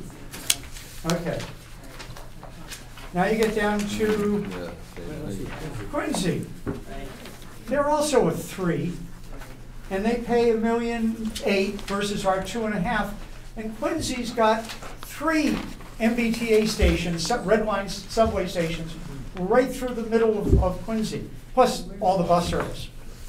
So I went to the gentleman afterwards, and I said, I was focusing on Braintree at the time, and I said, how are all these weights determined? Well, they were in the, they were in the legislation. And he just happens to note, mention that the time, the chairman of the Transportation Committee in the House of Representatives came from Braintree. I mean, this is, uh, you know, uh, so anyway, then my blood, pressure was this high. And, and, and Braintree is bad enough, Quincy is even worse. Uh, so we're paying three times the amount that these places are paying with no subway service. Granted, we got a lot of bus service, but still. Um, so Adam and I are, are actually, Adam, because he gets paid more than I do, uh, is writing a letter, and we're gonna try to get our legislators uh, and senators on board, because this makes no sense at all. Uh, That, you know, the money we pay, that's a lot of money. And, uh, you know, I suppose just comparing it to Braintree, uh, you know, they're, it's almost two million, dollars, million eight. We're paying more than they are. And it makes no sense. So, um, as I ask you, you know, with the local aid, if you happen to bump into your state rep or state senator, you might want to mention this. Uh, There's a breakfast meeting in Lexington um, that we're going to, and we're, we're going to mention this. It's, it's, it's a lot of money. So, uh, sure. You know, and so if any of you are thinking, you know, well, good luck with that, getting them to change that funding formula right now. I, I think the reason that it may be an opportune time is that as part of the MBTA's more prominent fiscal woes right now, uh, it is rumored that the Secretary of Transportation is in favor of increasing these community assessments. So if there is a look at the community assessments, I think that's the time to strike and say, okay, if you're looking at more money, why don't you take a second look at how, uh, how it's allocated out? So I think that there might be an opportunity uh, for that door to open up and have us have uh, time for our. Yeah, and we really need to, uh, you know, make this a, make this an issue. Uh, um, I, I, not, not to bring up another issue, but, uh, for example, for, for years, um, METCO reimbursements that we got back, uh, our reimbursement was less than Braintree's, picking on Braintree today, was less than Braintree's, even though we had twice the students that they did. And that's because obviously they set the assessment at one level and never changed it. So even though our population was going up and theirs was going down, it was still the same assessment. So, you know, sometimes we've got to look at these things and uh, um, this is the time to do it. So if you happen to bump in, might mention it. Maybe there's some secret reason why we're a nine. I, I'm not sure what it would be. We have good bus service, but so do a lot of other places have good bus service. Well, some people would dispute that we have good bus service. I'm one of them. I'm trying to be nice uh, on that. Multiple bus lines. Multiple bus lines, put it that way. John? I'd just like to point out strategically, in terms of what you plan to try to do here, that, that whole collection of communities with nines represent allies, because they're all much, much smaller in terms of, almost, virtually all of them are much, much smaller in terms of the service that they get than uh, Boston. So, we're not the only ones in this situation. There's a whole host of reps and whatnot who are in this situation. I, I think that's fair, and, and I don't necessarily think the approach ultimately is Arlington shouldn't be a nine and move other people up. But certainly, give us some rationale for why Quincy's not a nine. Yeah, but, but we're, we're not alone. There are a whole host of, you know, maybe tw- twelve or so uh, communities in this situation. So this is the time to get some, that's all we're looking for, is sort of a, a level playing field, some- some basic fairness in how these assessments are going on, on that. So, okay, um, so much for my rant. Uh, snow and ice options, uh, that was asked, um, how we're looking at that. And, uh, the manager has given a, uh, um, a piece, I, I think it's pretty self-explanatory. Obviously, um, if we take a look at the reserve fund, um, we've, we've voted about, after the hundred and fifty-five, we're down to seven hundred and fifteen thousand in the reserve fund. Um, the fire, um, budget has, has been mentioned. I took a worst case and took eighty thousand out for that, so that's six thirty-five. Um, so let's say the finance committee threw in five hundred thousand into the snow and ice. Um, that would bring it uh, down to about hundred and thirty-five, which gives us some backup going into May and June. Uh, in case something else comes up that we really are not familiar with.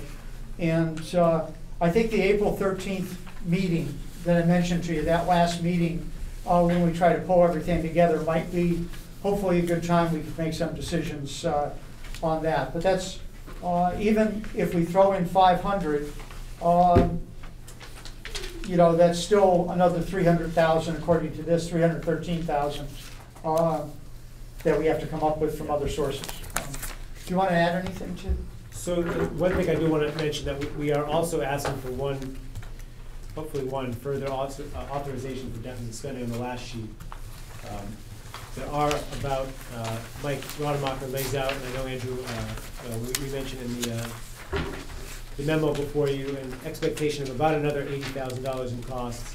And then, uh, you know, should it snow again, or, uh, you know, a few times, there could be further costs. So we're asking for one more vote of the committee uh, to push the limit up to two hundred thousand. Or an additional two hundred? Yes. So it goes up to one million, four fifty? For total. For a total. Deficit authorization, correct.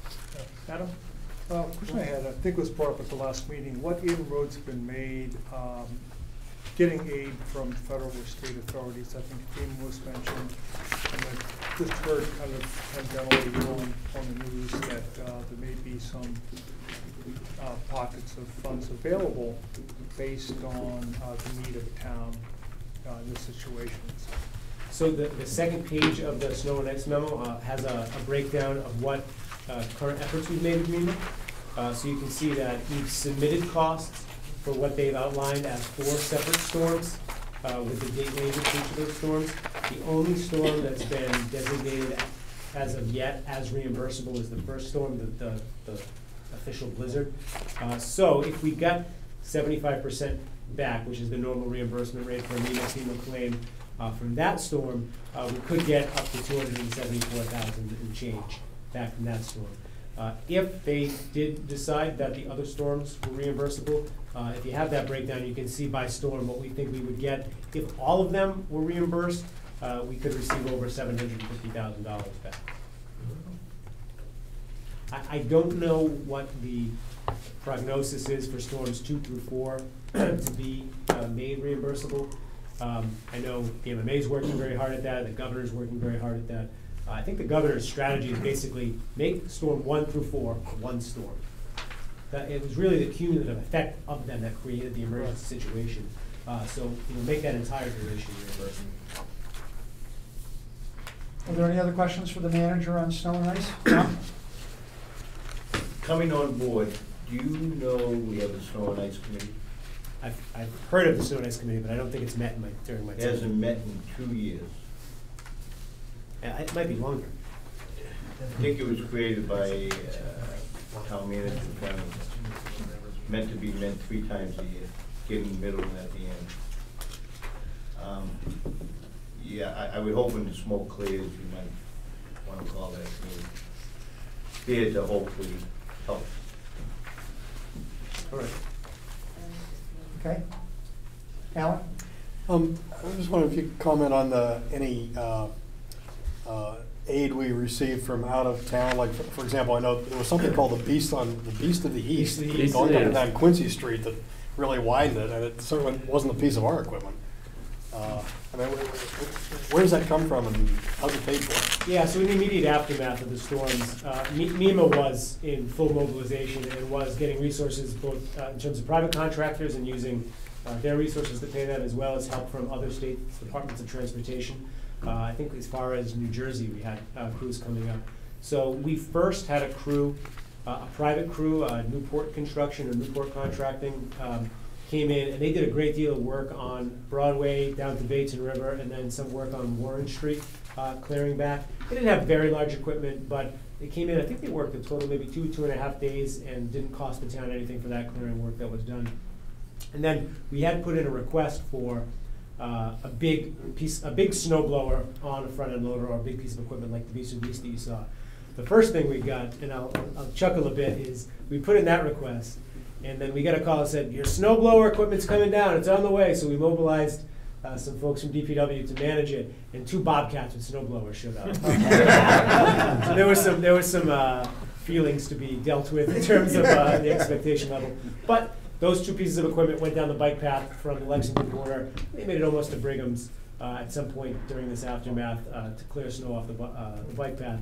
And then we did finally get the call uh, from uh, MEMA that the Beast of the East was coming down. And we did get Quincy Street done, a lot, a little bit more work around the Addison. I think we get some more school work done, but unfortunately, the equipment arrived and uh, shortly thereafter broke down. Uh, Did some good work. Did a great job. You know, when, when when it was working, it did a great job. Uh, Worked for a little while, broke down again. Uh, And then, you know, that equipment is only as, va- as, uh, as valuable as the dump trucks that you have to go along with it, because it moves fast. It- You know, it picks up a lot of snow and gets into the dump trucks. So we, it also had seven uh, dump trucks along with it from MEMA. And they, um, they were here for a while, and apparently they said, oh, we're called off, but we've got some replacements coming. Uh, They got called off and the replacements never came. So we got some benefits out of it, not as much as I think we were hoping to get, but it was very nice that it was. uh, Now, in terms of the total cost of the storm, is there any way of estimating what the sort of donated efforts would have cost or, or? Yeah, you know, I could probably ask Mike to estimate. Uh, You know, I would guess though, somewhere between forty and seventy thousand dollars worth of work. That'd be my guess. I, I. Okay, not, not huge, not millions. Not, not huge. Dean? I'm sorry, Alan, are you finished? Okay, Dean? So we've heard, we've heard conversations that your, um, of the people under your authority went over to the school department, helped them shovel off the roofs and things like that. Then Andrew brought up the fascinating concept of gray billing. Um, so what's going on there? Are you guys thinking about billing them? Are you talking to them? Are we gonna hopefully absorb it into the other stuff? What's going on? So my, I am talking to them, and you know, my thoughts on it are, as we look at this, we're gonna be looking at town operating budgets. We're, we're gonna be looking at every budget to see where we can piece some things together to cover it. So my expectation is I will ask them, can you cover some portion of this? But I don't see it as a full court press to say this is your responsibility. Uh, if out of that facilities revolving fund, perhaps, you know, there's some, uh, leeway or flexibility, I would appreciate them contributing, but again, I, I don't, I am not of the position that it is their responsibility to come up with that money.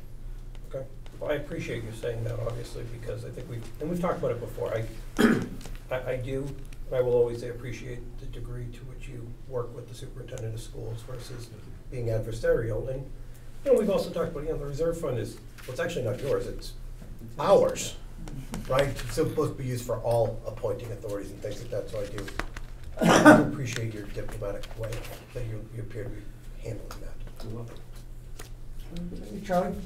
Uh, Yes, uh, Tom uh, Cacavaro last week, I can't remember what day, but raised the question of using the Ryder Street property as a snow farm or whatever you call it. All, all year. All, all year round. Trees, leaves, Yeah. snow, Yeah. you- you know, taking it back. To to help reduce the cost of trucking snow and other stuff out of town. Have you, is this, have you heard of that before, or? Yeah, I have, and, I- and I, I, I think there's, there's some pros to that and, and, and some cons to that. I think, uh, the pros is it's, it's a currently town-owned, town-controlled asset.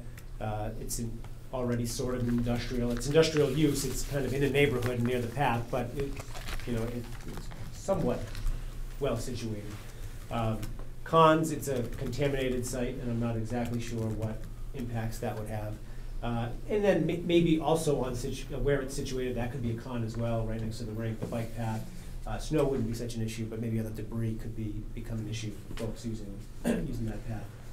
My preferred approach, um, this is probably gonna be the first time I, I talk about this in a public meeting, but I, I, I think, um, the space that we used two or three years ago, um, the field behind Stop and Shop adjacent to DPW, um, I think that's the spot we really need to focus on. And I, immediately, folks involved with athletics would say, nope, you know, we- we're practicing there, you know, we need that for a sports field. So, I think, and this is actually Mike Rademacher's brainchild, the finding a way to acquire the land at Poets Corner that we're currently using for snow, that's owned by St. Camillus. uh, Acquiring that, making it into a sports field, um, thereby replacing the sports use, and using that lot or that field behind Stop and Shop, cutting it in half, having half be for DPW as a laydown facility for snow and debris and other uses, and then half be parking for the high school to alleviate the current parking problem, and then also provide modular classroom space for an eventual project. That, that would be my preferred sort of more master plan for addressing that need. Okay, Tom? Two things I see wrong with going to Poets Corner. One, it's not zoned, and you'll have every neighbor there at you. And I don't, just don't feel it's an ideal. I wouldn't want beep, beep, beep banging and whatever, and debris, where I can see from my window. I'm saying, I think Poets Corner should be a sports field. So, oh, okay, I'm sorry. So that we can Okay, take I'm the sorry. sports field that's behind. Correct, I'm and sorry. Second of all, if you maybe take a walk down Ryder's property, there's more debris there than what you'd put there as a town. I don't know about snow, And, but. well, I'm just saying that that's, you know, and that comment, um, makes more sense to me, Ryder, it's already zoned. It's, um, yes, it could have, any, any potential land's gonna have a problem. Um, it, it's right there, we own it, even though we make gross income of ninety-five thousand dollars a year, I don't know what that comes out to. But the figures the last three years in snow are definitely going up. I mean, this year's crazy, we know that. The trend, seems like snow is, global warming came and left, and it seems like we're going, and we just have nowhere to put it. And it, you know, we're moving snow from the res, and then from the res, we're paying to get rid of it. We're moving snow to here. I, I just really think that that's one area we need to invest in, and at least we have an area. Yeah. Right now, we don't have an area. You, you- you, you are correct. And I don't- One way or the other, we have to identify an area. How long is the lease on that property? Uh, I believe we have another five years after this July. Okay, so any other questions? Okay, I mean, the real good idea that was suggested at this finance committee, uh, at the last thing, was to put it all on Robbins Farm and create a ski resort. But, My, my idea actually was Not to my catapult it all into Great Meadows. Put the house. Like it. Okay. Trevor, Uh, Uh, just one other idea, I don't know if you heard about what they did at, at Fenway Park, but they brought in, uh, twenty tons of black sand. And that actually brought the level of snow down from, I think, twelve feet down to about a foot. Now all I have to do is figure out what to do with the black sand. Okay. Can we put it on top, is that you? Yeah. Yeah. Yeah, no, I didn't hear it. Okay, Charlie? Yeah, I move the, uh, the motion on this, uh, additional funding for the snow and ice. Okay, do I have a second? Second. Okay, any further discussion? Okay, so we're adding another two hundred thousand to the deficit spending, bringing it to a total of one million four fifty, and then we'll figure out how to pay for it, you know, probably at our April thirteenth meeting, when hopefully this is all settled. All those in favor, please say aye. Aye. Opposed? Okay.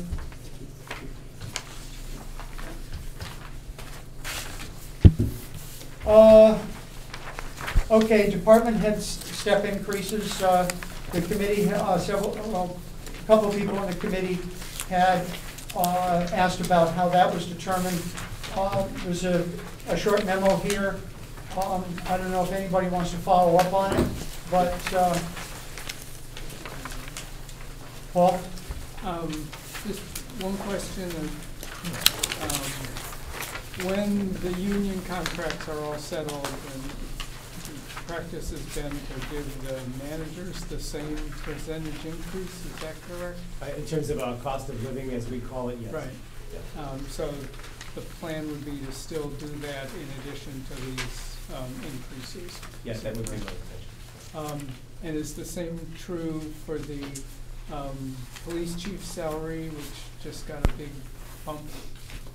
Uh, So what the police chief signed for would be what his compensation would be, not anything additional. Well, are you talking about a step or the cost of living? Uh, the cost of living. No, the the- his contract actually states that he'll receive a cost of living adjustment in accordance with other uh, employees, so he would receive that. Thank you. Okay, is there anybody other questions? Charlie? Yes, I have a question about the statement, I do not plan to offer step increases beyond midpoint in differing amounts of merit, but rather I plan to offer step increases for positive performance evaluation. Is, is that not merit? Uh, wh- What I mean is, I I don't need to put, uh, I have no intention of putting in place a system where someone gets X and another gets Y based on the outcome, but rather, you know, the positive performance, you, you get a merit increase, if you don't, you don't. Okay, thank you. Okay, are there any other questions on this issue? Okay. Um, Solar. Uh, okay, here's the status of, minute, status of energy and fuel contracts. Uh, we, uh, we're interested in how this works and when are these up and, uh, do you wanna add anything to this, Adam? Uh, no, I, I think it's, it's somewhat self-explanatory, but happy to answer any questions. Okay, Jonathan? Adam, is that, the, the electric supply rate, is that off by a factor of ten there? I don't think you're paying eighty-eight cents kilowatt hour. It it is, that, good catch, yeah. So that's eight It's- it's point zero- eight. zero point zero, yeah. Eight point eight cents. Yeah.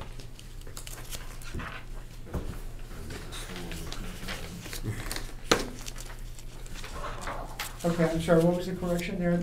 Uh, sh- it should be either eight point, Divided by 10. eight point eight zero, uh, cents or point zero eight eight zero five. Okay. Any other questions? Uh, John? Uh, Did you evaluate the possibility of the, the town simply installing the solar panels themselves and keeping the, the- are there equivalent, those, these things equi- that, that's for private individual, SRECs and all that stuff? Is that all, is that all a part of this? Do you wanna jump to solar, David? I think he's jumped. Okay, what, he's gonna take care of that next. Well, we're just- Oh, I'm sorry.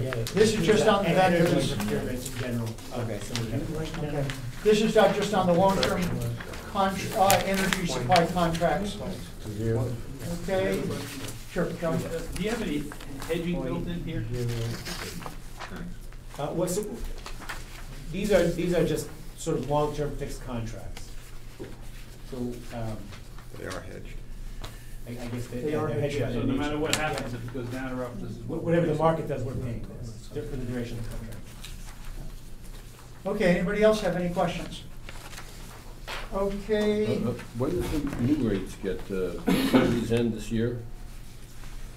I'm sorry. Uh, Some, some of these are ending this year, like the, the global uh, gasoline contract? Yeah, so what I, what I did for gasoline, those are just, an- we do that annually. So you see the one that's ending this fiscal year and then the one that I see. begins, uh, next fiscal year. okay. Anybody else? Oh, actually, uh, um, the electric supply contract, um, do you, um, buy for street lighting separately? Uh, no, no, no, we do not. So that, that pricing inclusive of street lighting? That pricing would be inclusive of street lighting, yeah. Okay, John? uh, Do we still have a maintenance contract with, uh, Reading on the street? Uh, it's with, uh, now the company's called Siemens. It was Republic ITS, but I think it was Reading Electric before. Siemens bought Republic ITS and they're now the. Oh, okay, so it's, a- it's an outside contract, thanks for that. Anybody else? One thing to mention, uh, in case you're thinking we're getting really great deals on our gas and electric, this is just supply, it's not transmission and distribution. But the utilities, we, we pay a separate bill to NSTAR and National Grid, and then we pay supply for these, uh, these groups. Okay. Uh, solar power purchase agreement. So, uh, I'll very quickly say, so I, I tried to lay out, um, some of the key points in this memo I provided. Uh, This is really a project that's, uh, Ruthie Bennett, who was here earlier tonight, has done a great deal of work on. Uh, I think it's something that John Dice asked about at town meeting a couple of years ago about, uh, you know, what the town was doing to pursue, uh, solar energy on school buildings. Uh, the, the long and short of it is putting, uh, solar panels on six school roofs, uh, producing just about, um, eight hundred thousand, a little more than eight hundred thousand kilowatt hours a year. Uh, and then, uh, projecting based on, uh, the energy produced by those panels, saving, um, around hundred thousand dollars a year, and you can see the table that was provided in the memo, providing, just about two million dollars in savings over a twenty-year period. Um, Somewhat of a complex financial scheme that you achieve that savings by. We would still be buying all of our energy from, uh, the grid, from NSTAR or Eversource, and, uh, and our supplier. Uh, we would then also be buying the energy that is produced on those panels for twelve point eight cents per kilowatt hour. Uh, but then we'd be getting net metering credit from the utility at the market rate, which is currently, the B three market rate, which is currently twenty-five point four nine cents, uh, which is what creates the savings of, of this scenario. Uh, So for the point John is getting at, if I may, um, the, the real key of why entering into a power purchase agreement is more advantageous for the municipality uh, are the tax, uh, tax benefits that a private company can realize by making this investment versus what a municipality can do. Uh, So that's why uh, we, we've seen uh, a large number of municipalities in the state go through a power purchase agreement with a private developer. So you don't have the upfront capital cost, and the overall economics are better based on the tax incentives that are available to a private. Well, the reason I asked the question, not thinking about the municipalities, it, I sort of went through it for putting them on our roof. And I decided it was a far better deal for me to own them than to have, you know, one of these contractors essentially rent my roof. So, have you gone through that other possibility? Has anybody so- tried the economics of that other possibility? So, when, when- yeah, when when you look at the economics, we would get this SRECs, the solar renewable energy credits, but we wouldn't qualify for the tax incentives Oh, that okay. Ameresco would qualify for, or a private homeowner would qualify I qualify see, for. okay. Uh, so, because of that, economics are better for All them. right, Now now I understand, okay, yeah, got it. Okay, Jonathan? Yeah, um, it says here, uh, that, um, there's a provision that, um, if there's, if a facility has to go offline for major repairs within the first ten years, the town will reimburse Ameresco for the lost revenue. And is that, by lost revenue, is that just the lost sales of the power to the town, or does that include their loss of SRECs? Uh, a good question. I, be- I believe it would be loss of revenue from the town. Uh, and I, I think you, you might be thinking about the high school, uh, and that's. Uh, That was gonna be my follow-up question, in in terms of the high school, and, and I don't know if, if Stratton would also be, you know, an So, issue uh, there. What, what's the risk associated with putting the facilities, So putting the panels on those two buildings? So for the Stratton, they're going on the portion of the building that's already been renovated, uh, Okay. so there's uh, lower risk. Uh, For the high school, the purchase, the power purchase agreement has built into the flexibility for us to be able to move the panels during the duration of construction, find alternative locations, generate power, and then put them back on at the completion.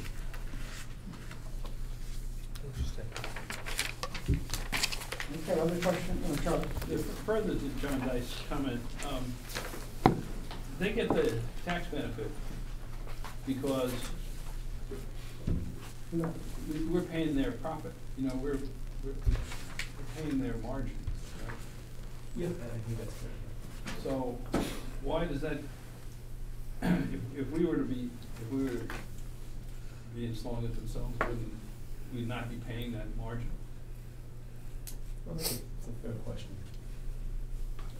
Whether or not the margin we pay exceeds what it costs us if we just put it in ourselves without the tax incentive. Yeah, let me, um, let me ask Cadmus, our consultant, that question, that's a fair question. Okay, I'm sorry, finish. Well, go ahead. Okay, Len? Uh, just a process question, was there a competitive RFQ or RFP process for this, or, or? There, there- there was, good question, I, I should have put that in here. Uh, so we were, by, uh, association, part of two competitive, uh, processes for, uh, solar. One, we were part of an ESCO solicitation at the Metropolitan Area Planning Council, and under, and ESCO is an energy serving, uh, uh, energy, uh, service contract. Um, uh, we were on a, a multi-community MAPC, uh, solicitation that included solar panels.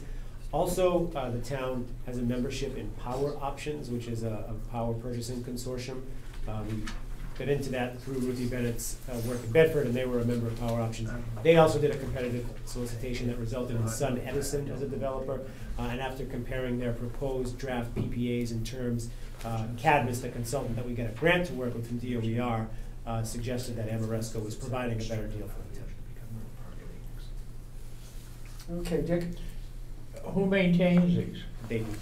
And we don't pay anything for the maintenance? No. Okay. Be- Because it's in their financial best interest to Yeah. generate electricity. They're, they're renting the roof. Right. Yeah. That's what it comes Yeah. down to. Alan and then Charlie? I see uh, a lot of new um, covered parking lots with panels, airports and things like that. Was, it- is that, is that, was that discussed as part of this? whole- It was. Seems like we have a lot of parking lots that could be covered. And it's sort of a win-win because it keeps the snow and rain off the cars, then. So we looked, um, we had, a- I had asked them to look um, at the DPW parking lot, and it wasn't big enough to provide the necessary scale. Uh, Their initial proposal did actually include a complete and total canopy over the Russell Common lot. Uh, Hmm. And and at this point, I felt like a much larger public discussion would be necessary based on the aesthetics uh, of putting something like that in the Arlington Center. Um, So it's not off the table, but to be able to move this project forward, uh, we're looking at the schools and not moving forward. Okay. So I see some fairly, I see some stores with, you know, just, you know, ten or twenty spaces that have them, and I'm not sure what the economics are. So everybody can plug their hydrants in. Go right, Charlie. Okay, Charlie? Yeah, um, just a, a sort of a general question, I think, I- I've already mentioned this to you. You know, I'm, I'm sort of concerned that this is a twenty-year contract, and, um, we haven't had a lot of success with twenty-year contracts, you know, contracts that have duration here. Um, You know, what, what's our ability to exit this contract if we don't like the way it's going? So, one, and I, again, we, we have spoken about this, uh, to some degree, but, uh, i- if something dramatic in terms of a change of law, so net metering credits went away, or SRECs went away, uh, and the economics went wacky in terms of this, uh, the contract would allow for both sides to enter into renegotiation to try to get the economics back into balance. Uh, also, there is the option within the PPA to be able to, uh, excuse me, buy out the system, uh, if we chose to from, from Ameresco. So we'd have to take a look at where we, where we thought we were economically if things went bad, and decide whether or not it would be better to buy the system. What, what is the value of the system? Uh, there's a statement of values in the PPA, I'm s- I, I didn't bring the PPA, I should have done that. Uh, but there, there's a statement of values in terms of, uh, what it would cost to buy, remove, uh, for the system, so we, we do have that statement of values. How many panels would involve? Oh, jeez. Approximately. Hundreds. Yeah, hundreds and hundreds. What, is it, is it worth more than two million dollars? uh, I think it's, uh, absolutely. Oh, it's prorated, it's calculated. Okay, are there any other questions? Gene and then Grant? So, I think I already know the answer because it's not in here. Um, So they're gonna get, they're gonna build these solar panels on our buildings, our roofs, this stuff, they're gonna, I guess, sell it back to us. Um, so in a hypothetical situation, um, if someone were to do this on one of the buildings along Mass Ave, or let's say a row of buildings on Mass Ave, um, that building, I get perfect if you contemplate this contract, that building, and they attach it to a building on Mass Ave, I think default into being real property at that point, be subject to property tax. Um, cause it's physically stuck on the building, it's not something you can move and all that. Um, what goes on here? Are they just sort of getting a little bit of a de facto property tax windfall because it's on a governmental building? So, uh, not necessarily. Uh, There's been some recent case law, uh, not in uh, an exact scenario, uh, but in a similar scenario where solar panels have been exempted from property tax. Uh, But with that said, um, from what we've seen in other communities, some boards of assessors choose to assess it, uh, and and some do not. I've had some preliminary conversations with the Director of Assessing and the Board of Assessors. Should they choose to assess it, it will impact in that, in the, in a direct proportion what our price is. If they do not choose to assess it, we're paying what's being proposed right now. So that there's no, there is no handshake that you won't be. pro- What do they do if you put it on your own residence? They assess it? Um, I believe that's value to the property, yeah. Okay. But not aesthetically. Okay. Uh, Grant? Um, I concur with uh, some of the comments about the um, length of the relationship and uh, the acquisition. So I appreciate you looking into the uh, ac- acquiring rather than um, uh, renting the roof to somebody, to a twenty-year tenant. Um, I do have a question, so, uh, one, two questions. One is about the um, Ameresco. Um, Can you tell us who they are or about them or something? um, Yeah, yeah, they're, they're, they're a very large firm that uh, primarily does uh, ESCO work, and that's energy service work, where they'll, they'll come in in a comprehensive manner to a community or organization, uh, not necessarily a, a city or town, uh, and do uh, energy efficiency measures throughout uh, the building stock. And they're nation, nationwide. Na- Yeah, and nationwide, and, and what, and usually those contracts are structured of, they, they'll, they'll do all the work. Uh, The organization will borrow, borrow the money, they'll do the work, and then the work is paid for by the energy savings that are promised. And then if the energy savings don't pan out, company like Ameresco's on the hook. So basically, they say, we're gonna do ten million dollars worth of work. It's gonna save you a million dollars a year, and then you'll pay it down over ten years. uh, for- And they take for- the risk of putting And it they take all the on, risk. right. If it doesn't save a million bucks a year, they cover the difference. Right, As right. part of that work, they also do, uh, zoning work as well. So, and you, what you're talking about is they're, they're basically, they're, they're capitalistic profit on doing, they're taking the risk and they're making a lot of, um, uh, and so they're a for-profit and are they public or is this a pri- they're private? Um, I don't, you mean, are they traded? Yeah, I- yeah. uh, you know, I guess. I- No, that's, I, I would invest if I could, if, uh, and the other one was, um, on the rates, um, this is fascinating stuff, it is just like the, you know, the, the home, the decision the home, homeowner would have to do. Um, the net metering credit, this is on the financial terms and considerations, which you know all of this right off the top of your head, it's amazing, but, um, the net metering credit from the utility, uh, based on the market price of electricity, and then they say about the current calculations. So if that's based on it, um, is it directly and exactly related to it, or is it like a proportion of it, and that proportion changes, uh, depending on the rate increases? Is that, a question So, so the interconnection agreement, it's called, that we would sign with the utilities, or with Eversource, would state what rate classes to be used. And I don't claim to be expert on what this means, but what we would be signing is something that commits it to the B three rate class, which today is, B three market rate class, which today is at twenty-five cents. Right. Amount. And how often would that get adjusted or something, does it say, uh? Um, it would fluctuate, it would fluctuate with the market. You know, so uh, you understand the direction here is there's a disparity, and does that disparity grow over time so that there, um, uh, more profit for the company because of the difference in the rates and what they pay us and what they charge nominally, but, okay. So no, the company, Ameresco is charging us twelve point eight cents for twenty years. Right, but No- what I mean, they're charging the market, what they would charge the market. So, uh, but they don't, they, they won't charge the market anything, they'll just charge us twelve point eight cents. And then we get credit from Eversource, not from Ameresco, from the actual utility, because we're, we're still buying the energy from the grid, as we always have. Mhm. And then this energy is getting produced on the panels, and it's going back out into the grid. Right. And the grid's using it. So we still buy ours, we then pay twelve point eight cents for what's getting generated, but then we get that market rate credit, which is today more and projected to always be more than that twelve point eight cents, so that we make money off what's being generated. I, I understand the difference between what the town pays and what the market rate that we would be getting. Yeah, yeah. But the market rate, uh, so I'm saying, so Eversource is the one that's getting the benefit of the discrepancy in the mar, of an increase, uh, in the market rate. If- Uh, I, I, I think Eversource would tell you, get, get rid of net metering credits, we hate it, please don't make us pay people for this money, uh, for Okay. this energy. All right, fair enough, okay.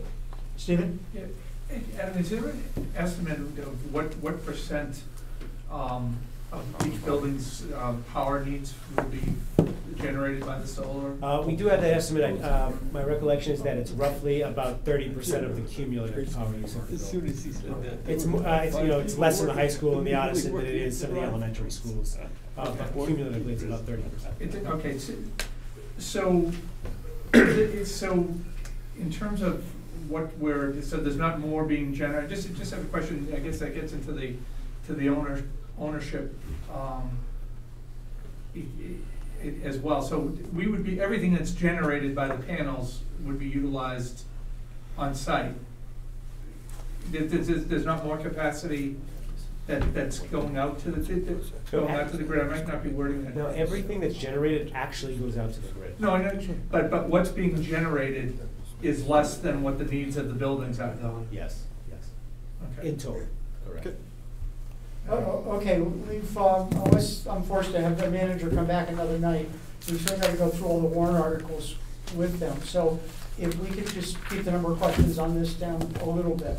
All right, Can can I just ask another follow-up, Al? Okay, Um, Sorry, a second question. Um, Just a question, at the end of the term, um, w- was there, I- I've seen other arrangements, the twenty years is what's important to the company in terms of investment and, and- and use, is the useful life of this thirty years, or- or is twenty years considered the useful life of the panels? I think the expectation is somewhere between twenty-five and thirty years. Okay.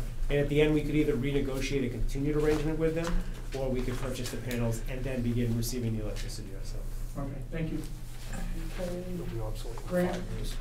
One, one last thing on that. So, um, Ameresco makes money, right?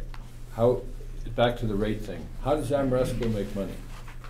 They make their money through the combination of solar renewable energy credits, tax incentives, and then what we maybe uh, pay for the electricity.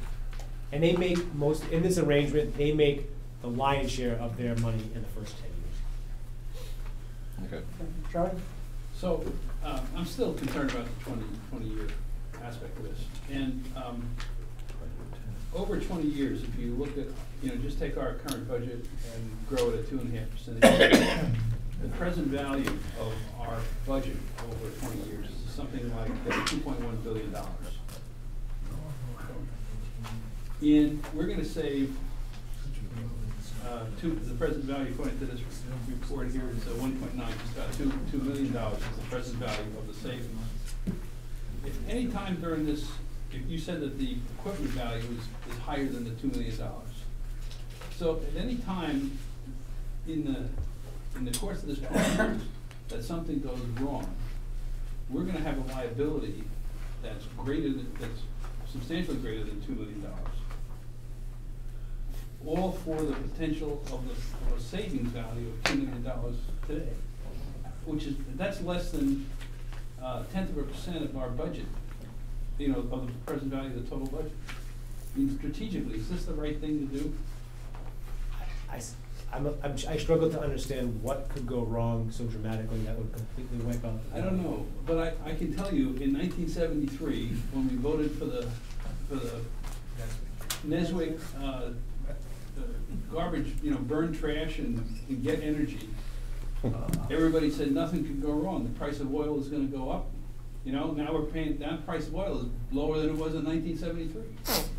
What, so I, I'm just, you know, we're, we're getting involved in another twenty-year contract, and, and the problem is, you, you're right, you can, you can't see what's gonna, what could go wrong, because you can't see. You can't see twenty years into the future, and know what's gonna happen one way or the other. So we're, we're, but one thing we know is we're gonna have a risk for, for a liability for this equipment, which is gonna be somewhere in excess of two million dollars, probably four or five million dollars. And the present value of all the savings is two million dollars. That to me doesn't seem right. Wait, what, why, they would own the project. If we, if we get out of the contract, if we want to get out of the contract after ten years, we have, we, we have a liability of the unamortized value of this equipment. Yeah. And, you know, it's somewhere in excess of two million dollars, probably four or five million dollars. So, yeah, maybe the contract says it'll be negotiated, et cetera, but, you know, that liability is out there. And what I'm saying is, we're- we're signing up for twenty years' worth of something. We don't, we, we don't know all of the parameters and variables that are gonna happen over those twenty years. The present value of our savings is two million dollars. It's less than a tenth of a percent of our budget. If something goes wrong in a given year, we're gonna have a, a big liability, a big impact, just the way we did with Neswick. And that's, that's, I, I, I'm just really troubled by that. I suppose the argument I hear there is that the town manager should not be pursuing even small efficiencies based on their insignificant impact on the long-term budget of the town. If, if, if that means that the town's exposed to a liability that it can't get out of, that exceeds the savings. If those conditions are there, then, then I'd make that argument. And I, I'm not, I'm not critici- I mean, it- what you're trying to do, save money, is good. I'm just, I'm looking at this as a, a twenty-year commitment, and the experience we've had with these twenty, I mean, how much time are we spending on the Minuteman contract that we'd like to get out of that we can't get out, you know? And it's been forty years. So I'm, I'm, you know, trying to learn something from those experiences and see how it applies. That- that- that is- Okay. Now, they would own the panels. Manage and operate. Panels. John? Uh, we- We're renting the roofs for twenty years, is what it comes down to. And so, yeah, if I may suggest, I, I agree with Charlie in the sense that we're delighted that you're doing the kinds of things you're doing. You know, I, personally, I'm very pleased that you are looking at these kinds of things. But it is a twenty-year commitment that's, you know, the two that Charlie cited have bedeviled me as well for all these years. You know, the Minuteman and uh, Neswick were awful things for us. So anyway, that, that's the, that's the worry, you know, the the huge uncertainty represented by twenty years. Uh, yeah, I- we're renting, a like you said, we're renting a roof for twenty years. Right. Um, But we have a liability. And the Well, the- liability is their equipment. And if we stop renting the roof, we have to buy their equipment. You- You're not really If that's- renting the roof, you're leasing their equipment, is really what you're doing de facto. I mean, it's, it, It's a it's capital it's a lease. capital lease. In which case, if you stop paying the, uh, the lease, they take the equipment back. And you owe whatever the liability is, whatever the outstanding liability is until the lease is terminated. Okay, uh, Carolyn? Can we get, can we get what the liability is over the course of each year? Or or at least over five-year brackets? Well, I mean, I, I know, I know you wanna wrap this up, uh, Mr. Chairman, but, you, you know, and I think that they, therein lies the question, what's, what's the risk, what's the liability? And I, I think the, the big risk is that this cost calculation assumes a price today for market rate, inflated at two, and- uh, two percent over the course of this twenty-year contract. So the, the risk would be that financially, um, that energy price comes way down. So today, transmission and distribution of electricity is about eight cents a kilowatt hour. Uh, and based on that 25.4 cent rate, uh, that balance of, that math, seventeen cents, uh, is commodity cost.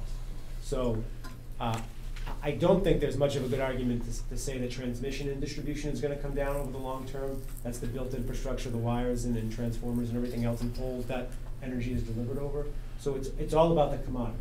So electricity as a commodity would have to come down to four point eight cents per kilowatt hour for some long extended period of time for this to even become a break-even project.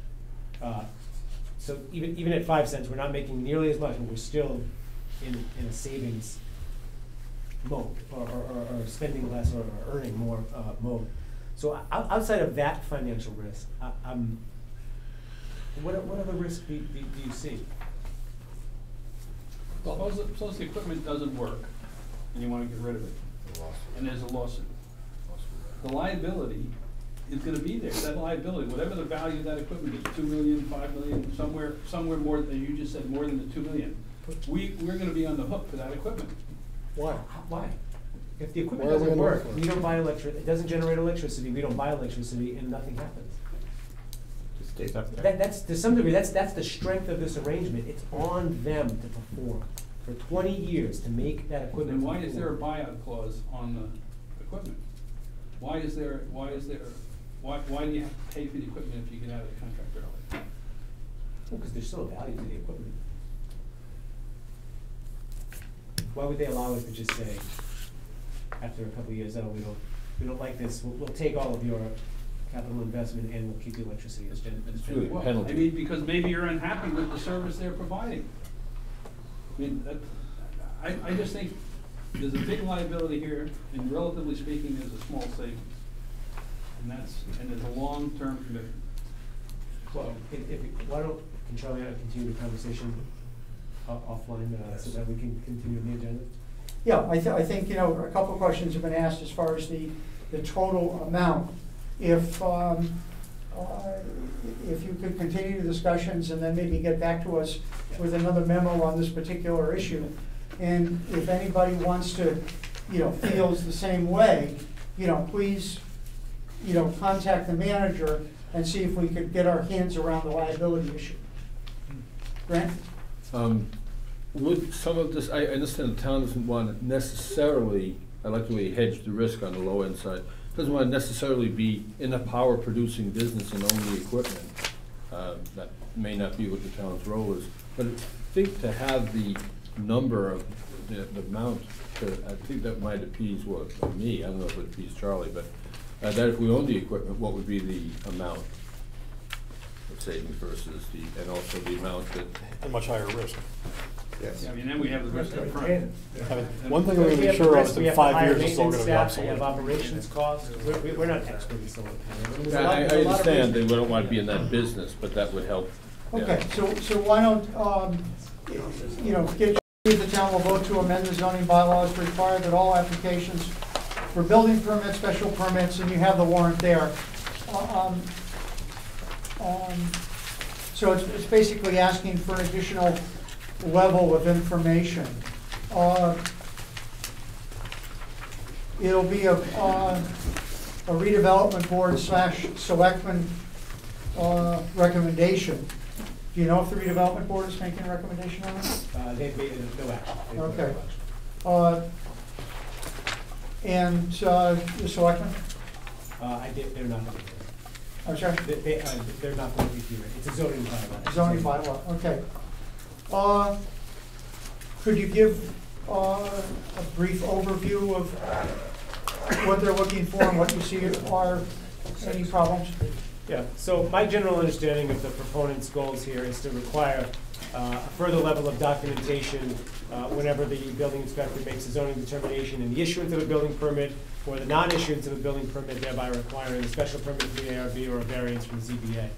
Uh, Our position, the town's position has been that this information already exists. The issuance of a building permit is in of itself a statement that there is compliance with existing zoning, and the denial uh, of the issuance of a building permit requiring either a variance or a special permit has an application process that goes along with it, where each uh, part of why uh, zoning is not being complied with is laid out within that build, uh, within that application, that then goes on to either the ZBA or the ARB. We have concerns that if the building inspector was required to make, uh, or create a further narrative document for every zoning determination that was made, uh, there would be a significant administrative burden that would require either the hiring of further inspectional help to perform the inspection work that the director is currently performing, or hiring of additional administrative help to perform that additional administrative work that the building inspector would have to do, creating these additional documents. So, based on that, I, I think our general position is, uh, feel pretty strongly that this information is currently being generated. Uh, and I think additionally, I'd add, should the ZBA or ARB need additional information about a zoning determination made by the, uh, building inspector? Uh, the building inspector has always been and will continue to be readily, readily available to them to answer questions and provide further information if they need it in making their decision. Okay, so, uh, does anybody have any questions on the manager? Ken? But now, this is really a money article. It gets right down to it. Because when I spoke with the building inspector, he felt that if he had to, in turn, do all this administrative paperwork, he definitely have to hire another building inspector, because he does a lot of the building inspecting. He's out on, on the field. So if he's stuck out on the field, there's an inspector, and he could possibly, uh, include, like you say, additional administrative staff. To me, that's wages. To me, that's money. Absolutely. So this is abs, to me, this is absolutely a money article. Absolutely. Does anybody have, uh, else have questions? Alan? On the, you know, basis of it ain't broke, are you aware of any situation that this would fix? Is there anything broken that this might fix? I'm not aware of any situation. Anybody else? Okay, so there's the finance committee, I'm sorry, Charlie? Oh, Tom, I'm sorry. If this thing should happen to go through, what would be, in your estimate, what, what would be the expense? You know, so talking with the building inspector, uh, depending on what was actually put before town meeting by the proponent and then potentially adopted, uh, you know, the, the level of detail being required would have some impact. But I, I, I think somewhere between, you know, one and two FTEs could be possible, depending on what we're talking about.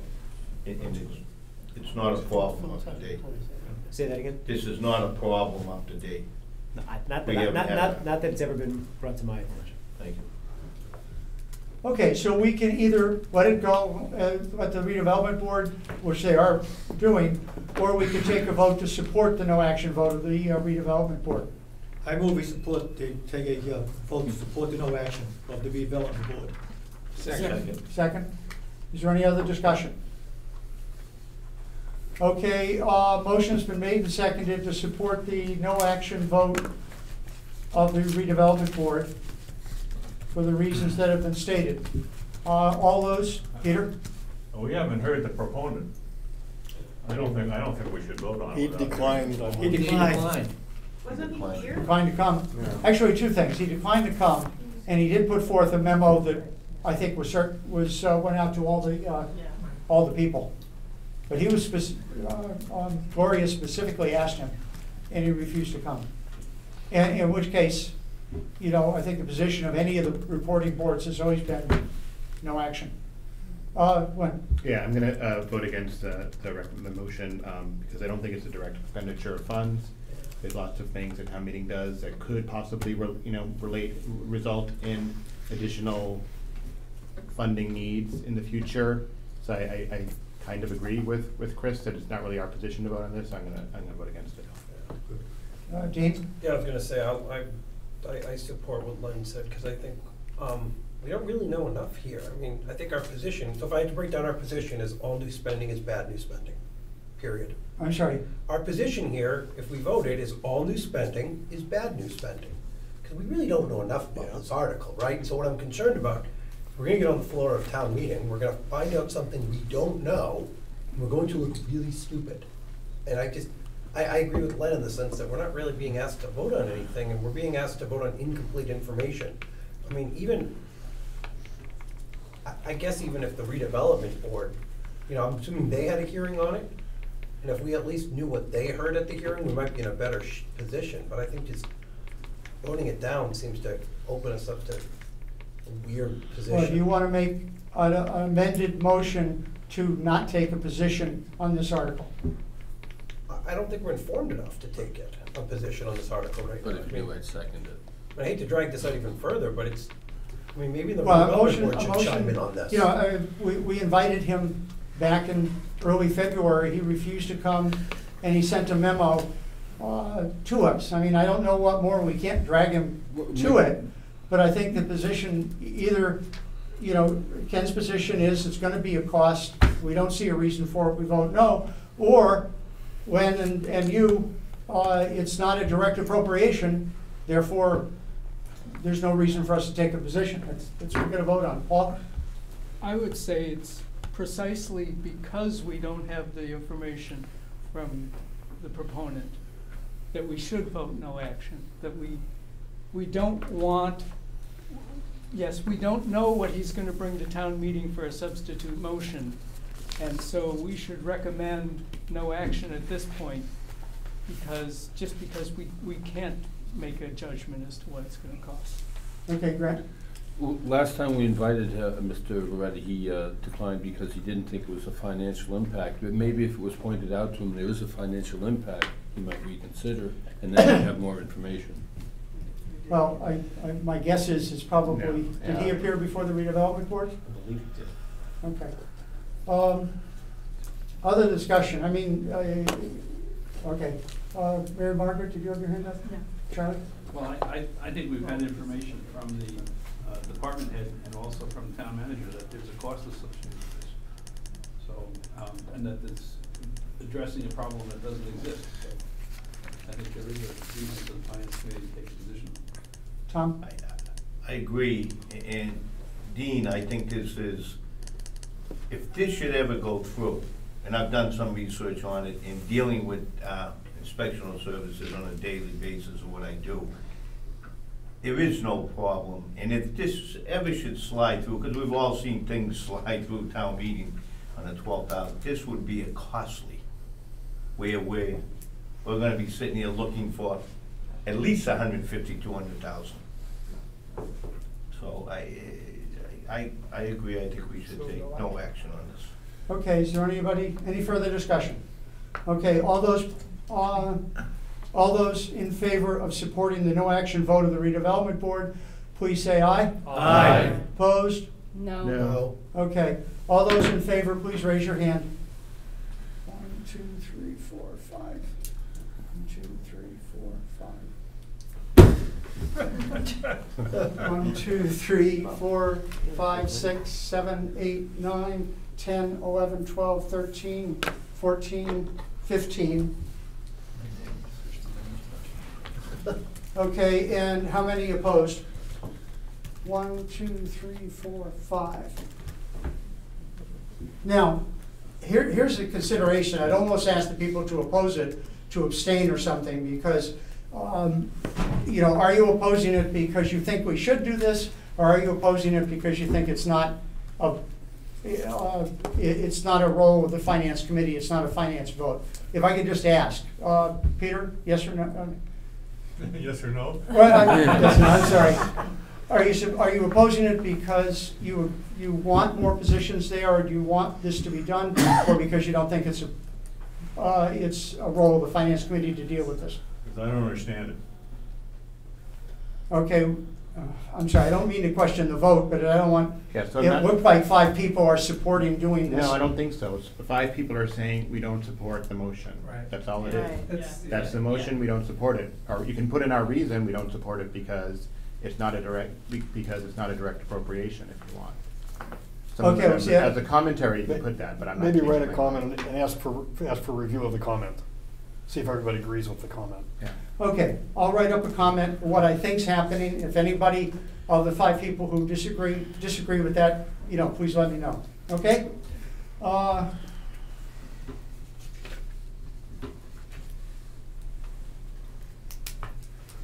okay, uh, Article 13 is the uh, disposition of real estate on uh, 1207 Mass Ave. So twelve oh seven Mass Ave is the former DAV, Disabled American Veterans Hall. Uh, found out about two years ago, based on some liquor license issues, that it was actually owned by the town, uh, under the Board of Selectmen. Uh, so, uh, moving forward from there, the DAV was not able to retain its national licensure as a DAV club, so they've moved out. The town has taken possession. Board of Selectmen went through a subcommittee process to look at options for reuse of the building, uh, then held a public hearing where people were able, uh, to come in and put forth ideas for what would be a good use for the building. So the Board of Selectmen's, uh, chosen path is to very soon put it out to short-term lease, uh, to try to, uh, experiment basically with some of the ideas that the folks who came to the public hearing, uh, had, shared workspace, uh, collaborative workspace for folks in town, uh, but then also to ask for permission from town meeting to then eventually sell the building. So what we would be doing is putting out a lease, probably for a short term, a year, maybe, uh, eighteen months, uh, but then be looking to sell the building at the end of that lease. We wanna get permission from town meeting this year. Proceeds of the lease, by law, proceeds of the sale of a capital asset have to go towards a capital asset. And proceeds from, uh, a potential or expected sale are currently included in the capital budget FY seventeen, I believe. Okay, and the, uh, Board of Selectmen has voted, Favorably to request, uh, town meeting authorization to sell. okay. I- Is, uh, anybody have any questions? Tom? What's our cost by putting it up for lease? So we're we're drafting an RFP that really limits our cost. Uh, so, ve- ve- very, very minor cost. We don't have to do anything to it. No, our, int- you know, so long as the building systems are working, we're not planning on making any improvements. So why, why hold it for eighteen months, twelve months? What's the difference? Get more Not for it. just Sell it. So the, the idea really from the Board of Selectmen was, there was a lot of folks who came out to that meeting, uh, and there's been a lot of interest in talk in town about creating spaces for collaborative workspaces for people who either currently work from home or looking to get into some kind of startup or, or, or just work in such a space. Uh, and there was the thought of whether or not, you know, this space could be where it's tested to see if the concept works. Uh, come in, maybe it does work, maybe they buy the building, maybe they don't. Uh, but really as the, the town giving an opportunity to be the first testing ground for that concept. So the lease would read, that person would rent it and do the build out. It would cost us. Yeah, any build out that was necessary, we would, that's what we'd be looking for. Anybody else have any other questions? Grant? No, I like the uh, approach because it might be worth more once it's been proven some value at the leasing. I concur with that. Okay. Now, uh, so the selectmen are moving and they're gonna recommend favorable action. Uh, I don't see that the finance committee needs to get involved when somebody wants to. Charlie? Uh, We need the money for the Stratton School. Okay, so, So I, I would like to ask the uh, Finance Committee to support the selectmen of this, because eventually, as, as uh, Adam said, it's gonna be, if it gets sold, it's a capital asset, has to be used for a capital asset, and it'll help defray the cost of the uh, renovation of the Stratton School. okay, you making a motion? I am making a motion to support the selectmen. Second. Second. Okay, so support Board of Selectmen recommendation. Okay, is there any further discussion or questions? Dean? Are we gonna directly say that we support it in hopes that it's used to defray the cost of the Stratton School? Well, I think the sale, if it's, the sale is, uh, it has to be used for capital asset, and then, then that would be with the capital budget committee. Yeah, I only bring it up because when we, I think we supported selling two, s- I know we supported selling two schools in the past for the purpose of rebuilding an elementary school. Oh, I think it would be the, s- the same. I mean, is it directly going to support? Yeah, it's gonna be in the cap, well, well, it'll be in the presentation I will give you for the next Monday night. Okay. Okay. Okay, motion's been made and seconded to support the recommendation of the Board of Selectmen. Is there any further discussion? All those in favor, please say aye. Aye. Opposed? Okay, unanimous. Favorable action, okay. Uh, fourteen, disposition of real estate parcel What is that? Cliff Avenue in Lexington. I guess we were just wanting to know what, what's this all about? So, uh, quick rundown, the Board of Selectmen voted no action on this at their last meeting on Monday night. Uh, This had its genesis in, uh, local attorney approached me, having a client who lives at the address here in Cliff Ave. A portion of that property is owned by the town. We own a great deal of uh, property that leads from this area of Lexington up into the Great Meadows. It was originally taken as water access rights. Uh, However, this portion of land, that's a small triangle of about four or five thousand square feet, uh, about half of it is this person's driveway and has their shed on it. Uh, They had an interest in buying the land, uh, if the town was willing to release it. After some further investigation by town counsel and his staff, we determined that based on the way it was acquired uh, and some of the restrictions on the land, it wouldn't be advantageous for either us to give it up or for this property owner to try to acquire it. Uh, So we're recommending no action. Anybody want to, finance committee get involved? No. No.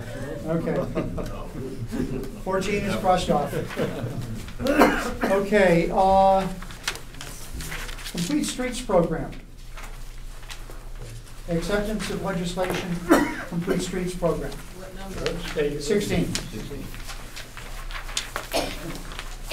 This is uh, a new piece of law adopted, uh, adopted last year that would create something somewhat similar to the Green Communities Division whereby when a community adopts certain criteria, it would then become eligible if it met up with those criteria to receive grant funding for project implementation.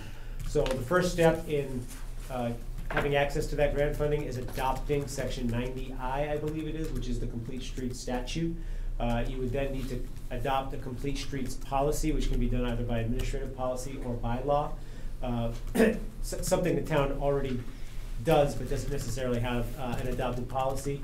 Uh, You then need to make sure that when you uh, design and build streets, they're in compliance with that policy.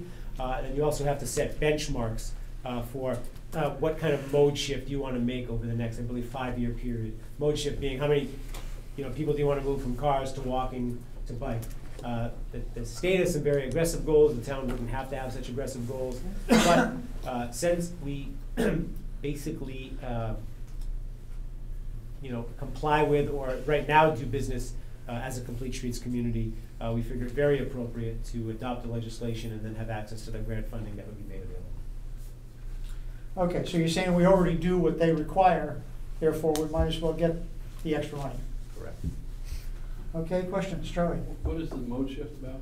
Mode shift is, is about m- moving people uh, from one, uh, one uh, type of, uh, what I'm looking for, I guess transit from another, so, you know, moving people out of a car onto a bike or or to pedestrian. And what are we doing now to do that? I mean, uh, in other words, what does that have to do with building streets?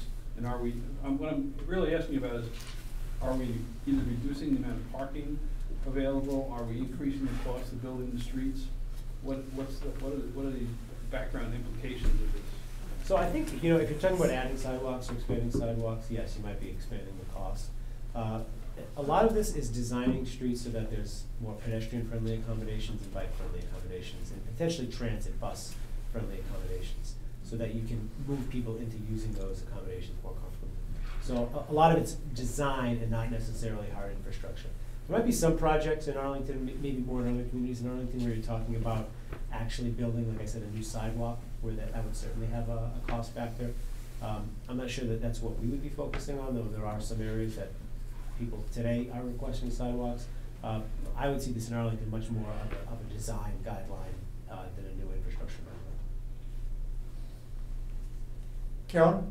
I'm assuming that one of the grants and, and probably one of the impetus for this is moving the bike lanes between the parked car and the sidewalk rather than the bike lane between the parked car and the driving car. Because I know there's a strong impetus among cyclists in town to have that shift happen at some point in time. I, I'm not sure what else it would be used for. I, I suspect that's its primary use, but I may be wrong. It could be used for raised crosswalks, more crosswalks, better pedestrian signalization, uh, or notification for motorists to know where there's a pedestrian crossing. Uh, there's a lot of different iterations that could fall under a complete streets policy. Can we get more of the uh, countdown uh, crosswalks and the birds? Uh, something like that would certainly Oh, bongo drums. No, you know, well, you, you you chuckle, but that, that, those, those chirps are very important for, uh, disabled people who are using, uh, using those signals to know when, uh, the walk signals are given. Other questions from the committee? Okay, is the, I assume the selectmen is voting favorable? I have voted favorable action. Okay, so the selectmen are moving ahead with this. Is this something the finance committee wants to get? No. Jump in? No. No, okay. Sixteen is gone. Okay. Collective bargaining. Now, you've given us a memo. Um, okay, so it sounds like you have a couple of contracts set, and you're working on the rest.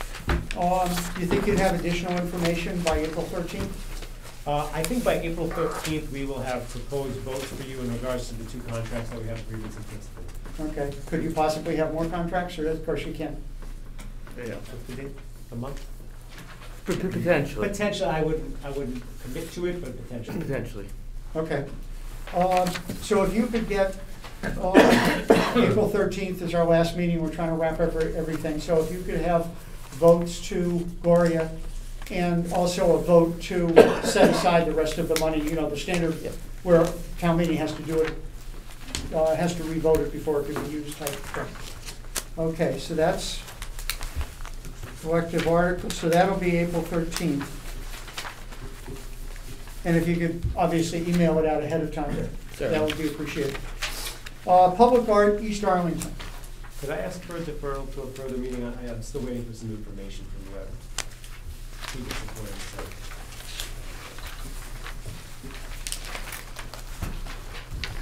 so. Okay, um, financing of that water and sewer articles. Grant, do you want to do that now, or do you want to wait until you present the whole water and sewer budget? Uh, I actually had some questions to ask uh, Adam or Mike about. Um, May want to wait until. after- Okay, that's fine. Uh, Or, Okay, uh, Human Rights Commission Executive Director. Uh, we, we heard a, uh, presentation on this. Um, could you please tell us, what's the status now of the Human Rights Commission Executive Director?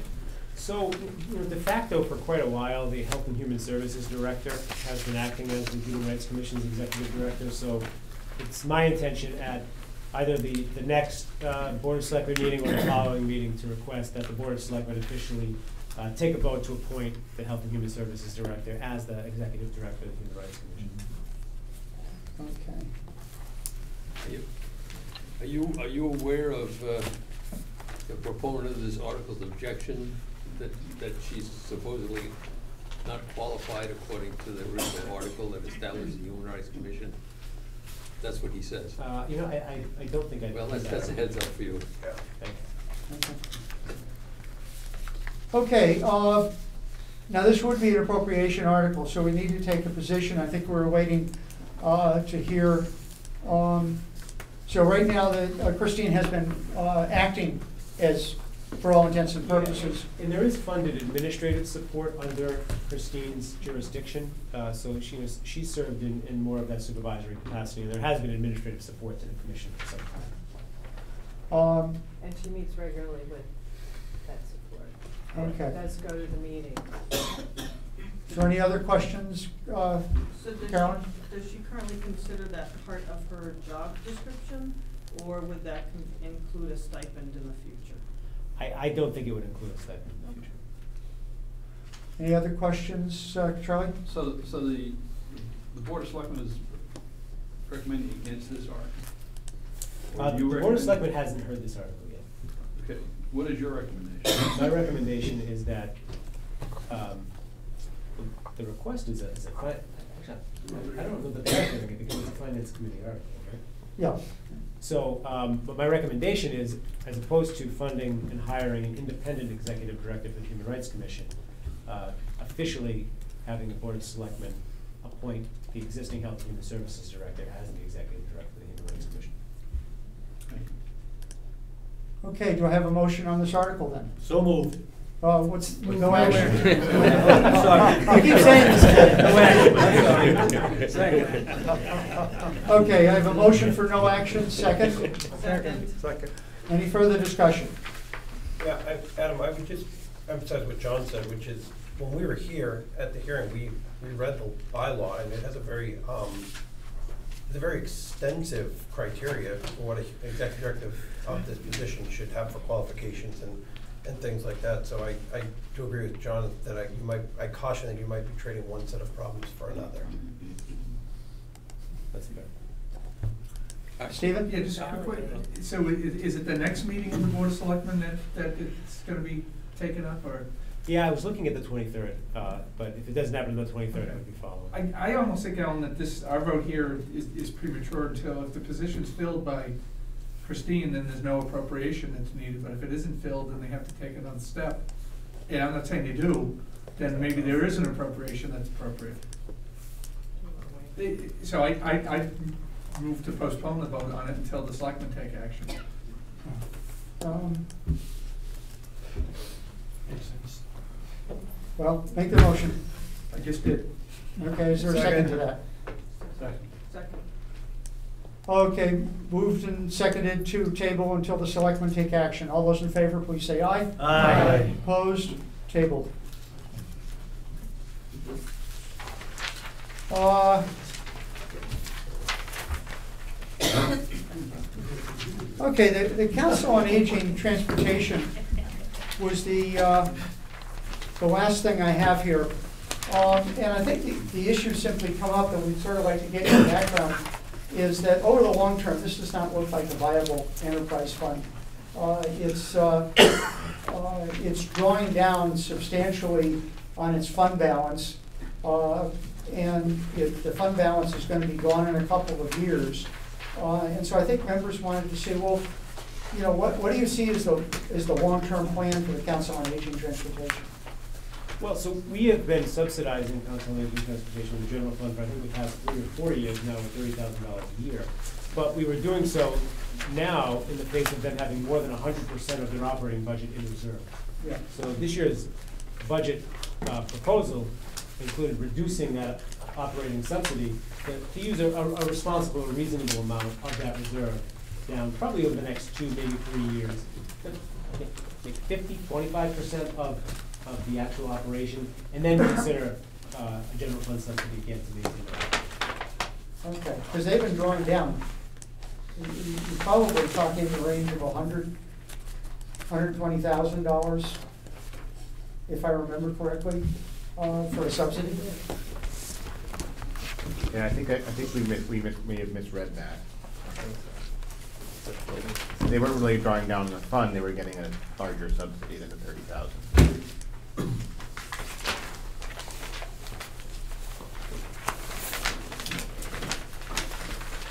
So they, they drew down, in thirteen, they drew down fifty-four thousand, and in fourteen, they drew down about sixty-eight, almost sixty-nine thousand. Um, and they planned for fifteen and thirty, and, and, so, so this money is disappearing. Uh, I'm just looking at transfer from retained earnings. And they're getting another forty thousand from community development block grant money. So, uh, the, the, the issue is, um, and this is, this is a presentation issue, transfer from retained earnings, um, that, that's both from the general fund, and I believe, I know the thirty thousand the fifteen budget is directly from the general fund, but it's thirty thousand in sixteen from retained earnings.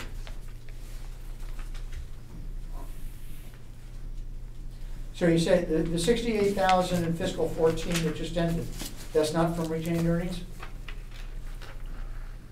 I don't believe it is, no. No, code forty-nine seventy-two is a transfer from the general fund. It's just coded, it's just, Yeah. the description is odd here, is wrong. Okay. Uh, Why don't we put We'll- together, a- we'll uh, get that don't we put very together a memo to explain the, Okay, because that's what we were looking at, it says transfer from retained earnings, and you can only transfer so much, so. Does anybody else have any questions on council on aging? If I sent you what Ruth compiled, I'm sorry? I sent you what Ruth compiled. Well, I don't know, I was asked to do it, on by other people on the committee. Right, and I was, and you asked me, or somebody asked me to ask Ruth to do five years of revenue and expenditures, which I sent it. Okay, um, that's fine. Is there any other questions for the uh, for the manager? Okay, so meeting is on Monday. That'll be the uh, our capital program uh, and we'll go on from there. Meeting adjourned. Thank you.